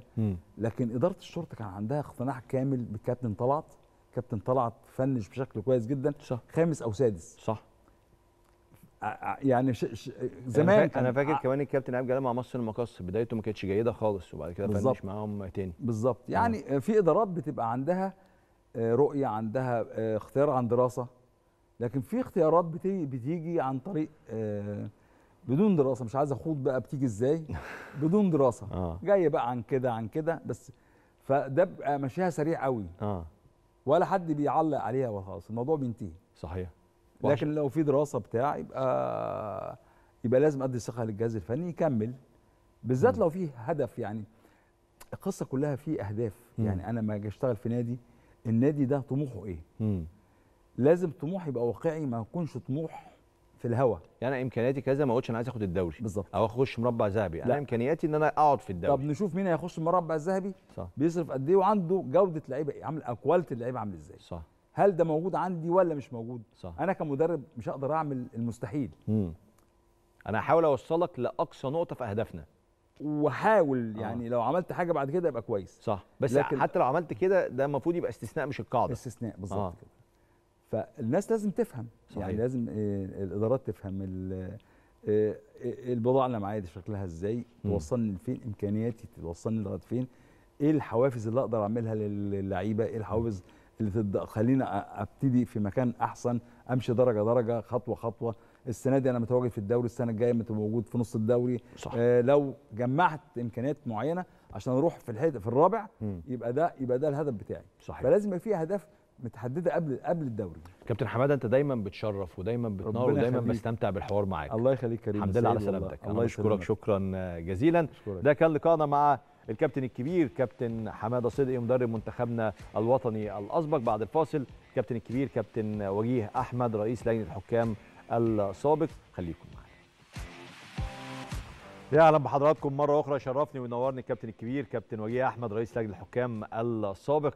يا كابتن وجيه مشرف ومنور. ربنا يخليك يا كابتن كريم سعيد إن أنا أكون معاك من فترة لأخرى وليا الشرف. شرف كبير لينا يا كابتن ربنا وجيه. يخليك ما شاء الله الحال التحكيمي اتحسن أهو.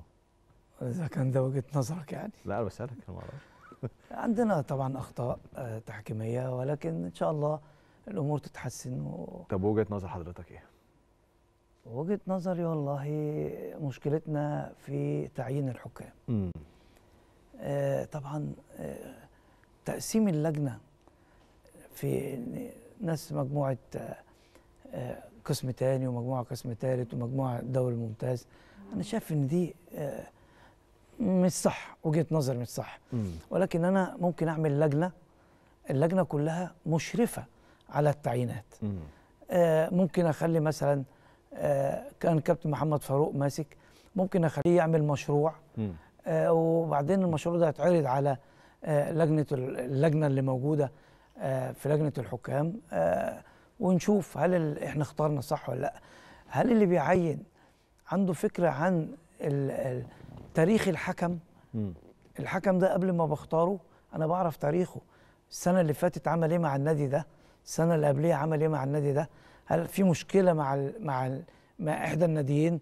هل آه ومشكلته بقى لها قد إيه؟ ما ينفعش حتى لو حتى لو حكم عامل مشكلة مع نادي ما ينفعش إن أنا أقعده مدى الحياة ما يلعبش. صحيح. ولكن هل المشكلة بقى لها فترة؟ هل المشكلة كان لها تأثير وتأثير جسيم على على على على ده اللجنه دلوقتي ما بتعملوش؟ مش مش ما بتعملوش. آه التركيز قليل شوية. آه في في التخصص ده. يعني, يعني- يعني لأن هم آه ما مش أول مرة يمسكوا تعيينات في الدوري الممتاز. بنتكلم على مين؟ على اللجنة نفسها ولا بنتكلم على كلاتنبرج؟ لا كلاتنبرج هو اللجنة اللي اللي موجودة دي بتعرض عليه. آه. وهو بيوافق آه. أو بيقول غير ده. وده ده عنده مشكلة ولا لأ؟ آه يعني ده ده ده الاتجاه. ولكن كلاتنبرج ما يعرفش تاريخ كل حكم. امم لأن الراجل جاي بقاله شهرين ولا ثلاث شهور. صح. ما يعرفش تاريخ كل حكم. صح. إنما اللي يعرف تاريخ كل حكم آه، الناس اللي عندها خبرات وماسكة اللجنة يعني كلاتنبرج دلوقتي مش. هو اللي بيعين الحكام اللي بيعينها اللجنة اللي موجودة معاه. اللجنة اللي موجودة واللجنة بتعرض عليه. آه. وهو آه، بيقر أو بيوافق على الحكام أو يشيل بعض الحكام يقول لك غير ده على ضوء الأداء الفني بتاع الحكام نفسها في الفترة الزمنية اللي هو آه، ادار التحكيم فيها. إنما كتاريخ للحكم هو ما عندوش ال- الملكة دي. ليه في بعض الحكام المصريين أنا شفت ناس حتى على ال social media بينتقدوا ويهاجموا ال- اللجنة ويهاجموا كلاتنبرج ليه؟ أنا أنا بكلمك بصراحة يا كابتن وجيه دايما نتحدث عن أسرة التحكيم المصري.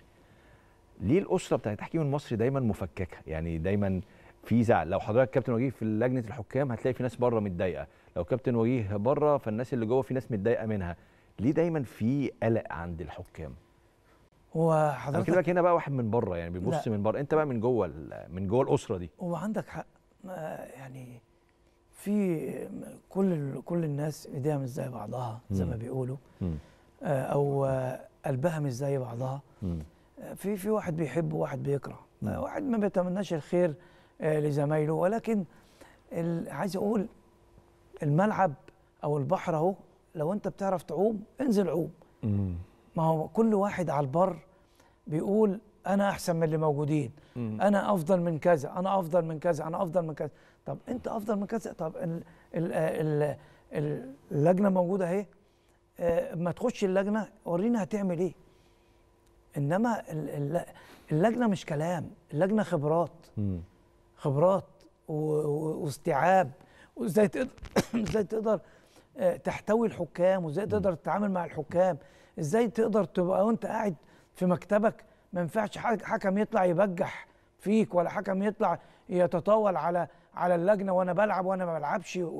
كل دي آه، لجنة. كل دي لجنة. آه، اعرف إن أنا بقول لك كل دي لجنة. إدارة. لجنة قوة آه، آه. قوة آه. سيطرة. آه. ده بيحصل. دلوقتي؟ نعم. ده بيحصل دلوقتي؟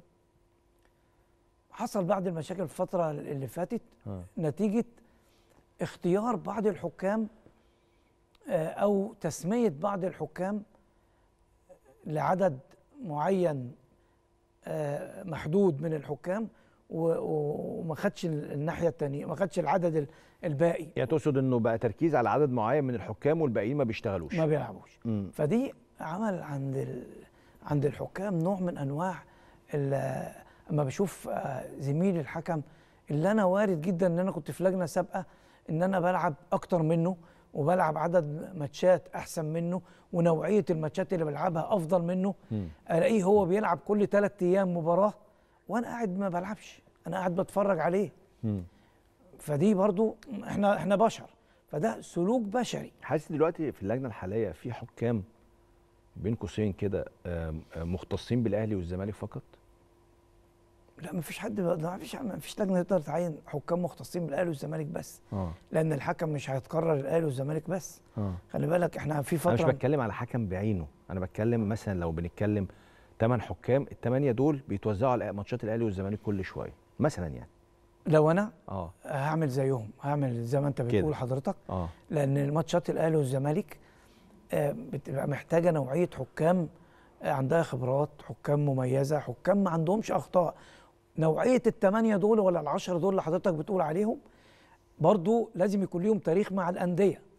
لو لو لو لو لو الحكم ده عنده مشكلة مع مع مع النادي الفلاني حتى لو كان من ضمن العشرة مش لازم ألعبه للنادي الفلاني. آه فعشان كده أنا بقول لك بس نوعية. آه هنا يا كابتن وجيه بتاخدني في حتة تانية. أنا لما ببقى نادي سين أو صاد مش الأهلي والزمالك. فبطلع أعترض على التحكيم النهارده وأقول هو أنتوا اشمعنى بتجيبوا لي أنا الحكام دول اللي باعتراف حضرتك أو بكلام حضرتك إنه ممكن يبقوا quality أقل شوية من الحكام اللي بت بت بيديروا مباريات الأهلي. والزمالك؟ آه يعني بتكلم على ال quality الجودة بتاعتهم أقل من الأهلي والزمالك الحكام بتوع الأهلي والزمالك. تك... آه لا فيجي تك- مثلا نادي سين نادي زي هتكلم النهارده على مباراة غزل المحلة وفاركو وكان في حالة مثيره للجدل. يجي يقول لك هو انت عشان غزل المحلة ما أنا غزل المحلة أنا عندي طموح ابقى في الدوري أو يبقى عندي مركز كويس فبتديني حكم ممكن ما يبقاش حكم دوري زي ما بتديهم للأهلي والزمالك. مش المفروض الحكام كلهم يتوز... يتوزعوا بالعدالة على كل الفرق؟ لا طبعا. لا. لا طبعا. آه. أنا بفهم آه، منك على فكرة لا مش طبعا. انتقاد آه. نوعيه نوعية الحكام آه. مش زي بعضها. آه. ال 20 ولا ال 30 حكم اللي مختارين. مش زي بعضهم. في في حكام دوليين وحكام عندهم خبرات في مستوى تاني حكام آه عندهم خبرات أقل بيلعبوا ماتشات آه عدد من المباريات أقل من الحكام الدوليين والحكام اللي عندهم خبرات في حكام لسه صاعدين بيلعبوا عدد محدود من المباريات ماتش وماتشين وثلاثه وأربعة في السنة آه لازم يبقى في فرق. يعني أنا أجيب واحد بيلعب تاني لعب ماتشين في السنة أجي ألعبه للأهلي أو ألعبه الزمالك أو ألعبه ماتش مهم على الهبوط أو الصعود لا طبعا. لازم ما أنا عشان كده بقول لك خبرات اللجنة. هي هي صعبة بصراحة خبرات. اللجنة. آه. آه أنت إمتى تختار؟ يعني عندنا دلوقتي نادي القمر الدولة مش دولي ولا حاجة. آه. بيعمل ماتشات 10 على 10 صح. مميز جدا. صح. بيلعب ماتشات كبيرة وبيلعب ماتشات الأهلي والزمالك. فدي يعني الحكم أنت اللي أنت اللي بتصنعه كلجنة. أنت اللي بتكبره. بتدي له عدد ما بتدي له عدد من المباريات. آه آه آه مثلا آه إسماعيلي ومحلة آه، آه، اتحاد و- و- وسموحة. انت اللي بتكبره انت اللي بتكبره لغاية ما تدي تيجي تديله الأهلي والمصري. الأهلي وبيراميدز الزمالك وبيراميدز الزمالك وإسماعيلي. انت اللي بتكبر الحكم. لغاية ما توصل انت كلجنة وتبقى عندك قناعة إن الحكم ده يقدر يدير مباراة من من من الكلاس إيه اللي انت بتقدر تعتمد فيها على الحكام الدوليين أو حكام الصفوة اللي عندك. فعشان كده انت اللي بتكبر الحكم انت اللي بتخلي الحكم يكون في المكانة آه ال class إيه فده ده مهم جدا. ليه لحد هذه اللحظة إحنا تقريبا بقالنا سنتين أهو بنطبق الفار، ليه لحد هذه اللحظة في مشاكل في الفار كتير عندنا؟ آه، طبعا تقنية الفار عندنا في مصر م، تخطت نسبة النجاح فيها ال 75 و80% خلي بالك ما ما فيش دولة في العالم بتتخطى ال ال 92 ولا ال 95% الاتحاد الإنجليزي أهو كل ماتشاته فيها آه، أخطاء تحكيمية وفي الفار وحتى الحكم ما بيسمعش للفار. فأنا عشان عايز أقول آه، الناس اللي ظالمة الفار ال 70 80% دول شوف كان هيبقى فيها أخطاء قد إيه لو ما فيش تقنية فار. عندنا ركلات جزاء بتتحسب والفار بيلغيها. عندنا ركلات جزاء ما بتتحسبش والفار والفار بيحسبها. عندنا أهداف آه، بتيجي من تسللات أو بتيجي من من آه، من أخطاء آه، في الهجوم الواعد ال APP من زميل محرز الهدف وبيرجع فيها الحكم وبيلغي أهداف زي النهارده ماتش أسوان وإنبي كابتن محمد عادل. برضو الحكم الفار استدعاه وقال له في لمسة يد قبل لاعب إنبي ما يجيب ما يجيب جول ورجع وشاف تقنية ال- الفار بعد استدعاء حكم الفار وشاف فعلا اللي فيه الإيد وبالتالي آه، يعني الفار بيتدخل. في ناس مش فاهم الفار سيطر على الشغب. كابتن كريم انت دلوقتي كنا زمان بنشوف في الفترات ما قبل الفار إن أي مشكلة تلاقي خمس ست لعيبة من كل فرقة يروحوا ويضربوا بعض. بعض. ويتخانقوا في بعض. والحكم والحكم شايف. مش شايف. آه. دلوقتي الفار بقى مسيطر على دي. صح. في تحديد الهوية. صح. وفقره من ضمن الأربع فقرات. تحديد الهوية. أنا ب... إن أنا بحدد هوية اللا... اللاعب اللي مرتكب المخالفة. مم. وبستدعي الحكم بقول له الرق... لاعب رقم اثنين من فريق إيه؟ والراجل رقم ستة من فريق بي. كل واحد ضرب الثاني أو ارتكب ايا كان السلوك اللي ارتكبه. فدي في حد ذاتها من الفار سيطرة على على على على تشابك اللعيبة. دي دي دي, دي تقنية برضه موجودة. ما حدش اتكلم فيها. ولكن نقطة مهمة. ما حدش اتكلم فيها. صح. ولكن أثرت وأثرت وخلت الحكام بتقدر تسيطر على تقنية الفار إيه بقى مشكلة الخط بتاع التسلل؟ يعني كل خط- حالة يقول لك أصل الخط مرسوم غلط أصل الخط مش مرسوم مش عارف إزاي. ليه دايما عندنا مشكلة في موضوع الخط دي بقى دي بقى مش موجودة في الدوري الإنجليزي. مم. يعني رسمة الخط الغلط دي مش ما ما لا سمعتهاش والله موجودة. أنا ما شفتش والله والله. موجودة. والله؟ والله موجودة في السنة دي. آه. ماتش مانشستر يونايتد و- و- وليفربول. آه. كلنا وإحنا بنتفرج قلنا تسلل. آه. ولقينا الحكم بيحسب جول بعد ما ما استمع لتقنية الفار وحسب جول آه. وكلنا قلنا تسلل. آه. يعني كان الخط مرسوم غلط ساعتها. لا زاوية الكاميرا هي بتبقى عامل مساعد في اكتشاف ال- ال- ال- ال- ال- الخط- الخطوط. آه. ولكن مش ما قلتش ما قلتش بترسم غلط. لا الحكم آه، الفار بيرسم الخط بيرسم لا لا هو هو في واحدة في واحدة لا استنوا مش دي يا جماعة ده في واحدة أنا أنا أنا شايفها غلط. قبل ما نروح لديت ده في واحدة في المقاولين والمصري ماتش المقاولين والمصري يا كابتن وجيه الراجل راسم الخط جوه نص مش في اخر لو معانا الصورة يا جماعة مش عارف حضرتك شفتها؟ أنا لا. شفتها. طب أنت كان رأيك فيها إيه. عقبال ما تبقى معانا أنا جاهزة. رأيي بالعين المجردة. آه. تسلل. آه. بالعين المجردة. آه هي دي اللقطة أهي. تسلل. آه بالعين المجردة. آه. بس هل آه، لو لو تقنية الفار استخدمت صح ما أقدرش أتدخل في العلم. لو يا جماعة في صورة بالخط هاتوها لنا عشان نتكلم فيها. لأن آه. لأن العلم آه، ده علم وتقنية. عشان ما عشان ما اقعدش كل لعبة. لو أنا شككت في التقنية خلاص ألغيها بس هو بقى الخط ده مش مانيوال؟ بيترسم مانيوال؟ لأ آه. لأ. طب اشرح لنا كده. نقط آه. بحط نقط عند عند. آه. اهي يا كابتن بص حضرتك. أنا الخط مرسوم في نص اللاعب بتاع المصري. لأ عند هو راسه تقريبا. لا هو المفروض يترسم لا هو مرسوم الخط من عند من عند الرجل من تحت اهي. آه. الرجل الكعب الرجل بتاع لاعب المصري. ما هو ماشي. من عند الكعب الرجل بتاع لاعب المصري. آه. هو مرسوم مش من مش من نص اللاعب. آه. زي ما حضرتك آه، شايف. كنت آه. لا هي من من عند الكعب آه. بتاع لاعب المصري اللي هي الرجل ال- ال- ال- ال- اللي اقرب لخط المرمى. هي دي اللي مرسوم. مش عارف واضحة بالنسبة لك؟ واضحة بس أنت شايفها تسلل ولا مش تسلل؟ أنا شايف أنا شايف اللعبة مع تقنية الفار آه. شايف إنها هدف سليم. آه. مع تقنية الفار لأن أنا ما أقدرش أنكر العلم. آه. إلا إذا إلا إذا استخد- استخدم الخطوط بطريقة خاطئة. آه. أو استخدمت النقط بطريقة خاطئة. إنما ما أقدرش أنكر العلم ما أقدرش أقول ليه؟ لأن كده لو أنا اتكلمت وقلت هذا الكلام وأنا من ضمن المحاضرين ال- الستة اللي في مصر في تقنية الفار يبقى أنا بشكك في في هذا التخصص. طب إيه موضوع إن الفار محتاج updates وإن ال software مش مت... عندنا مش معمول له update هل الكلام ده برضه علمي ومفهوم وصحيح ولا؟ هو هو هو آه، مفروض آه، في كل سنة بيتبعت للشركة وبتيجي تعدل. update. آه تعمل ابديت ل- لل- للبرنامج نفسه.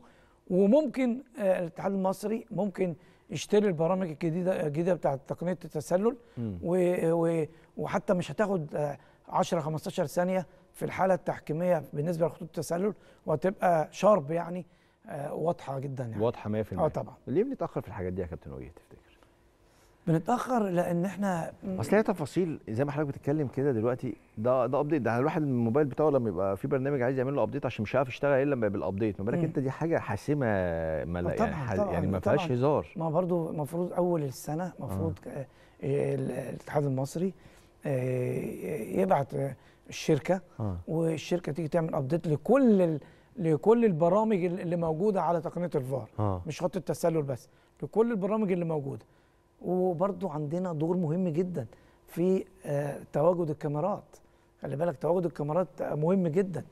يعني ما بقاش أنا آه، عامل تقنية الفار وعامل كل حاجة وصارف ومكلف و- وكاميرات محطوطة غلط. صح عندك بس حق. بس إحنا دلوقتي طبعا. الحقيقة الأمور تحسنت كثيرا آه بالنسبة للتلفزيون بيعلموا فإحنا بنعلم مكان الكاميرا بحيث إن الكاميرا مان بيجي عارف مكانه.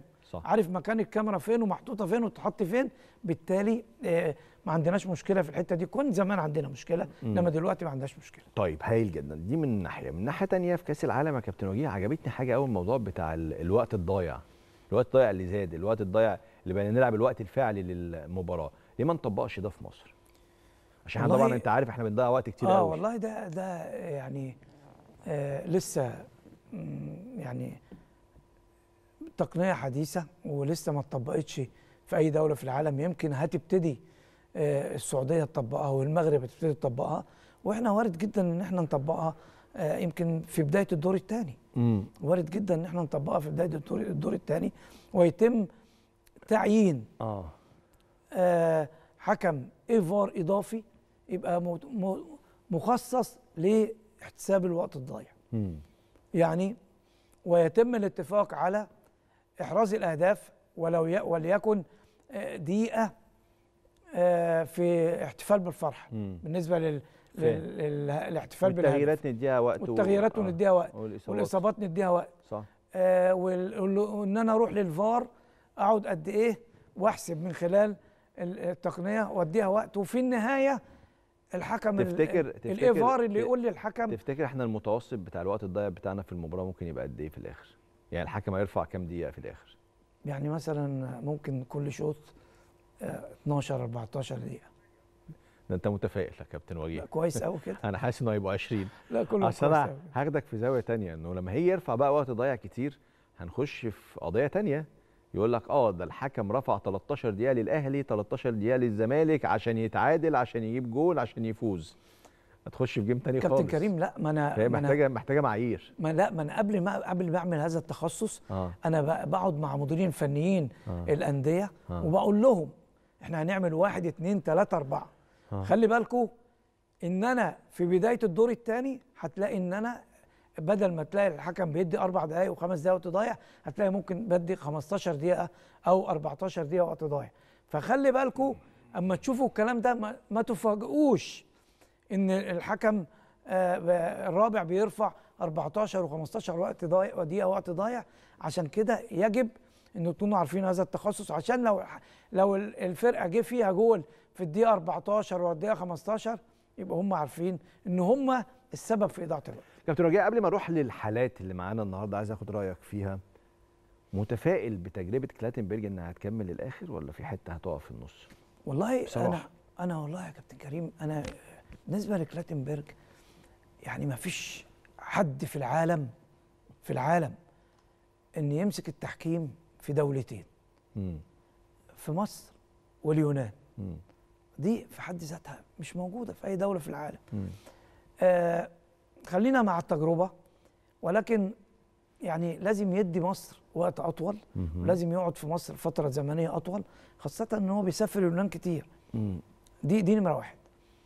نمرة اتنين آه خلينا آه نشوف التجربة هتوصل لإيه ونبتدي نقيم التجربة. ولكن لغاية دلوقتي هو جيد ويمكن أو يمكن آه مقبول مرتفع أو تصل إلى بداية الجيد. ولكن لو وصل لجيد مرتفع ولا جيد جدا. لأن لأن برضو خاصة إن إحنا في بداية الموسم.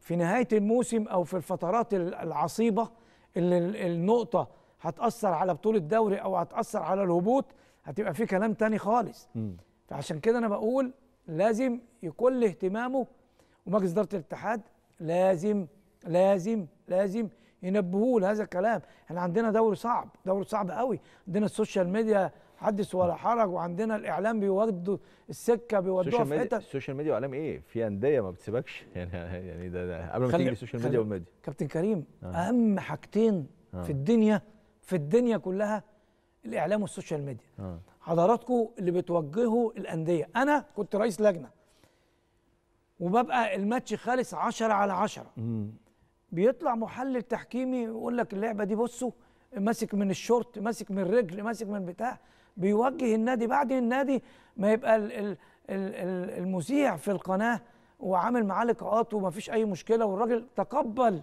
ما هو المذيع ما الخسارة. حضرتك بتقول المذيع. أنا في الأول والآخر أنا مثلا كريم أهو أنا مش هقول رأيي في التحكيم. أنا بجيب مين؟ بجيب محلل تحكيمي يعني دلوقتي الكابتن وجيه لما أسألك على الحالات ديت فأنا بسأل حضرتك ليه؟ ده راجل فعلا هيعرف يقول الحالة صحيحة ولا خاطئة عشان هو راجل خبير ولا هو من العلم والشغل اللي يعرف يقول الكلام ده؟ أنا أتفق معاك بس أنا أنا هعمل إيه؟ طب أنا كابتن جبت كريم. أنا جبت حكم هو اللي كابتن يقول كريم الحالات. كابتن كريم. آه.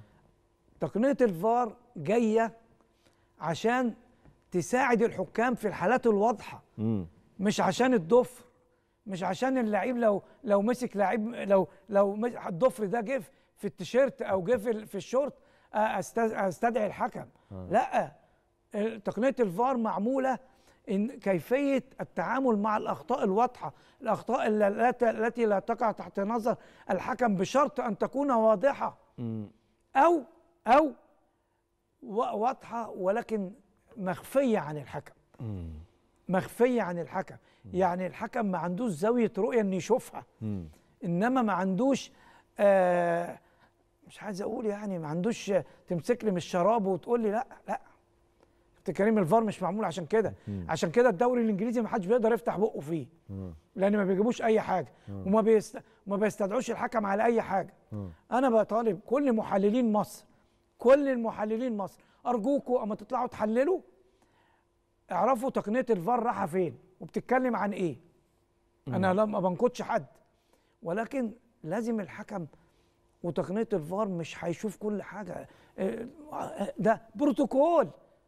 بروتوكول الفار لا يتدخل إلا في الأخطاء الواضحة التي لا تقع تحت نظريه. تحت نظر الحكم. ده بروتوكول. صحيح صحيح. طيب يا جماعة هاتوا لنا اللقطة بتاعت هدف غزل المحله النهارده الملغي ضد فاركو وعمل مشكلة كتير الهدف ده النهارده يا كابتن وجيه. بصراحة ما رضيتش أقول يعني قلت أنا أنا دايما ما بقولش رايي على التحكيم بس الهدف. ما فهمتش هو اتلغى ليه بس أكيد حضرتك لك نظرة يعني. ليه الهدف ده اتلغى النهارده يا كابتن؟ نشوفه مع حضرتك. دي اللعبة. لآخرها وهدف. في إعادة للعبة؟ آه هيبقى في إعادة. معانا إعادة يا جماعة. أهي أهي. ومعانا الفيكس بتاع الفار. أنا أنا بس عايز أشوف. آه. لسه هنشوف إعداد كتيرة يا كابتن وجيه. وهيجيب اللقطة بتاعت فار. أهي يا كابتن. هو هو هو حسب فاول على دي يا كابتن؟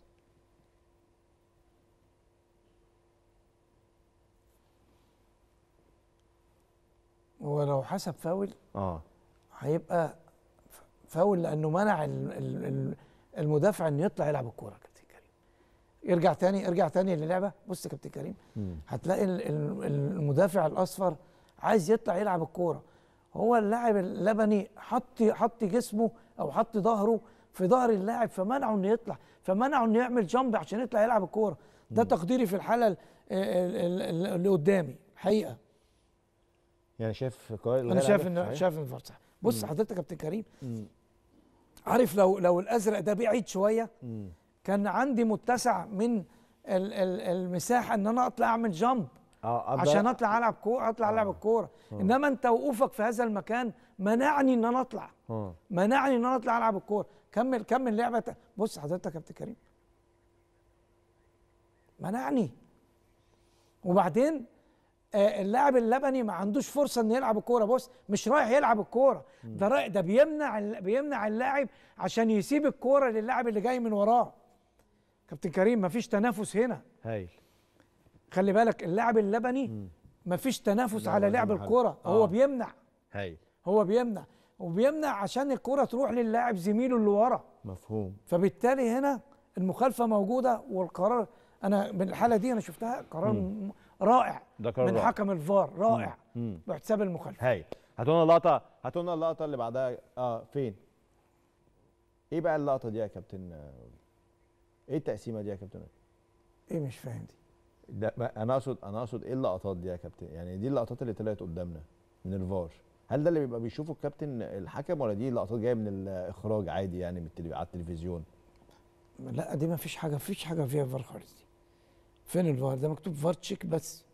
أنا أقصد بص هو آه، VAR check فوق أهو آه. وطلع لنا الصورة دي قدام التلفزيون. فإحنا آه. خدناها مع أنا ما أعرفش إيه ده بقى. يعني تاثير دي خلطة ممكن تبقى من المخرج بتاع ده اللقاء آه، بس ده. مش الحكم بيشوفه. وارد. لا يعني لا اللقطات دي مش الحكم لا اللي بيشوفها لا الح- فين؟ ما الحلقة اللي بيشوفها الحكم هي اللي إحنا شفناها. آه أنا أقصد يعني ده آه. مش اللي طالع من الفار لا، لا، لا، لا. ده اللي طالع في الفار لا. فهنا الفار الحكم لا، لا، بيشوف لا. إيه دلوقتي؟ لا وارد جدا لما اللاعب يكون متوقف آه. بيجيب لك أي صورة عشان ما ينقلكش. ما لا ما هو هنا عمل لك إيه؟ هو اللخبطة اللي عند الناس النهارده الناس كلام كتير على ال social media. هو VAR check فوق أهو VAR check فهو جاب لك الحالات اللي تصورنا إن الحكم بيبص عليها دلوقتي.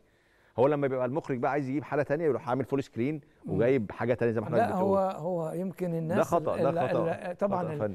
آه. ال- الحدث ال- أو التفكير اللي راح آه. عند الناس آه. إن هو بيتكلم على ال APP ما قبل الهجوم الواعد. ال- اللي اتلعبت فيه الكورة. آه. لكن الهجوم الواعد اللي فيه ما فيش ما فيش أي عظيم. هاتوا لنا اللقطه يا جماعة اللي بعد كده على طول. أنت أنت أنت معايا يا كابتن آه، كريم لا خلاص؟ أنا تم... لا أنا لا أنت آه. معايا آه. في اللعبة دي؟ بص لا نرجع للعبة تاني. هاتوها تاني يا جماعة. ارجع للعبة آه. تاني. هتلاقي هو مش را- هو مش طالع مش طالع مش طالع يتنافس على لعب الكورة. هو رايح يمنع عشان يسيب الكورة آه، لل- لزميله عارف لو هو طلع وتنافس مع اللاعب على لعب الكورة والكورة راحت للزميل يستمر اللعب.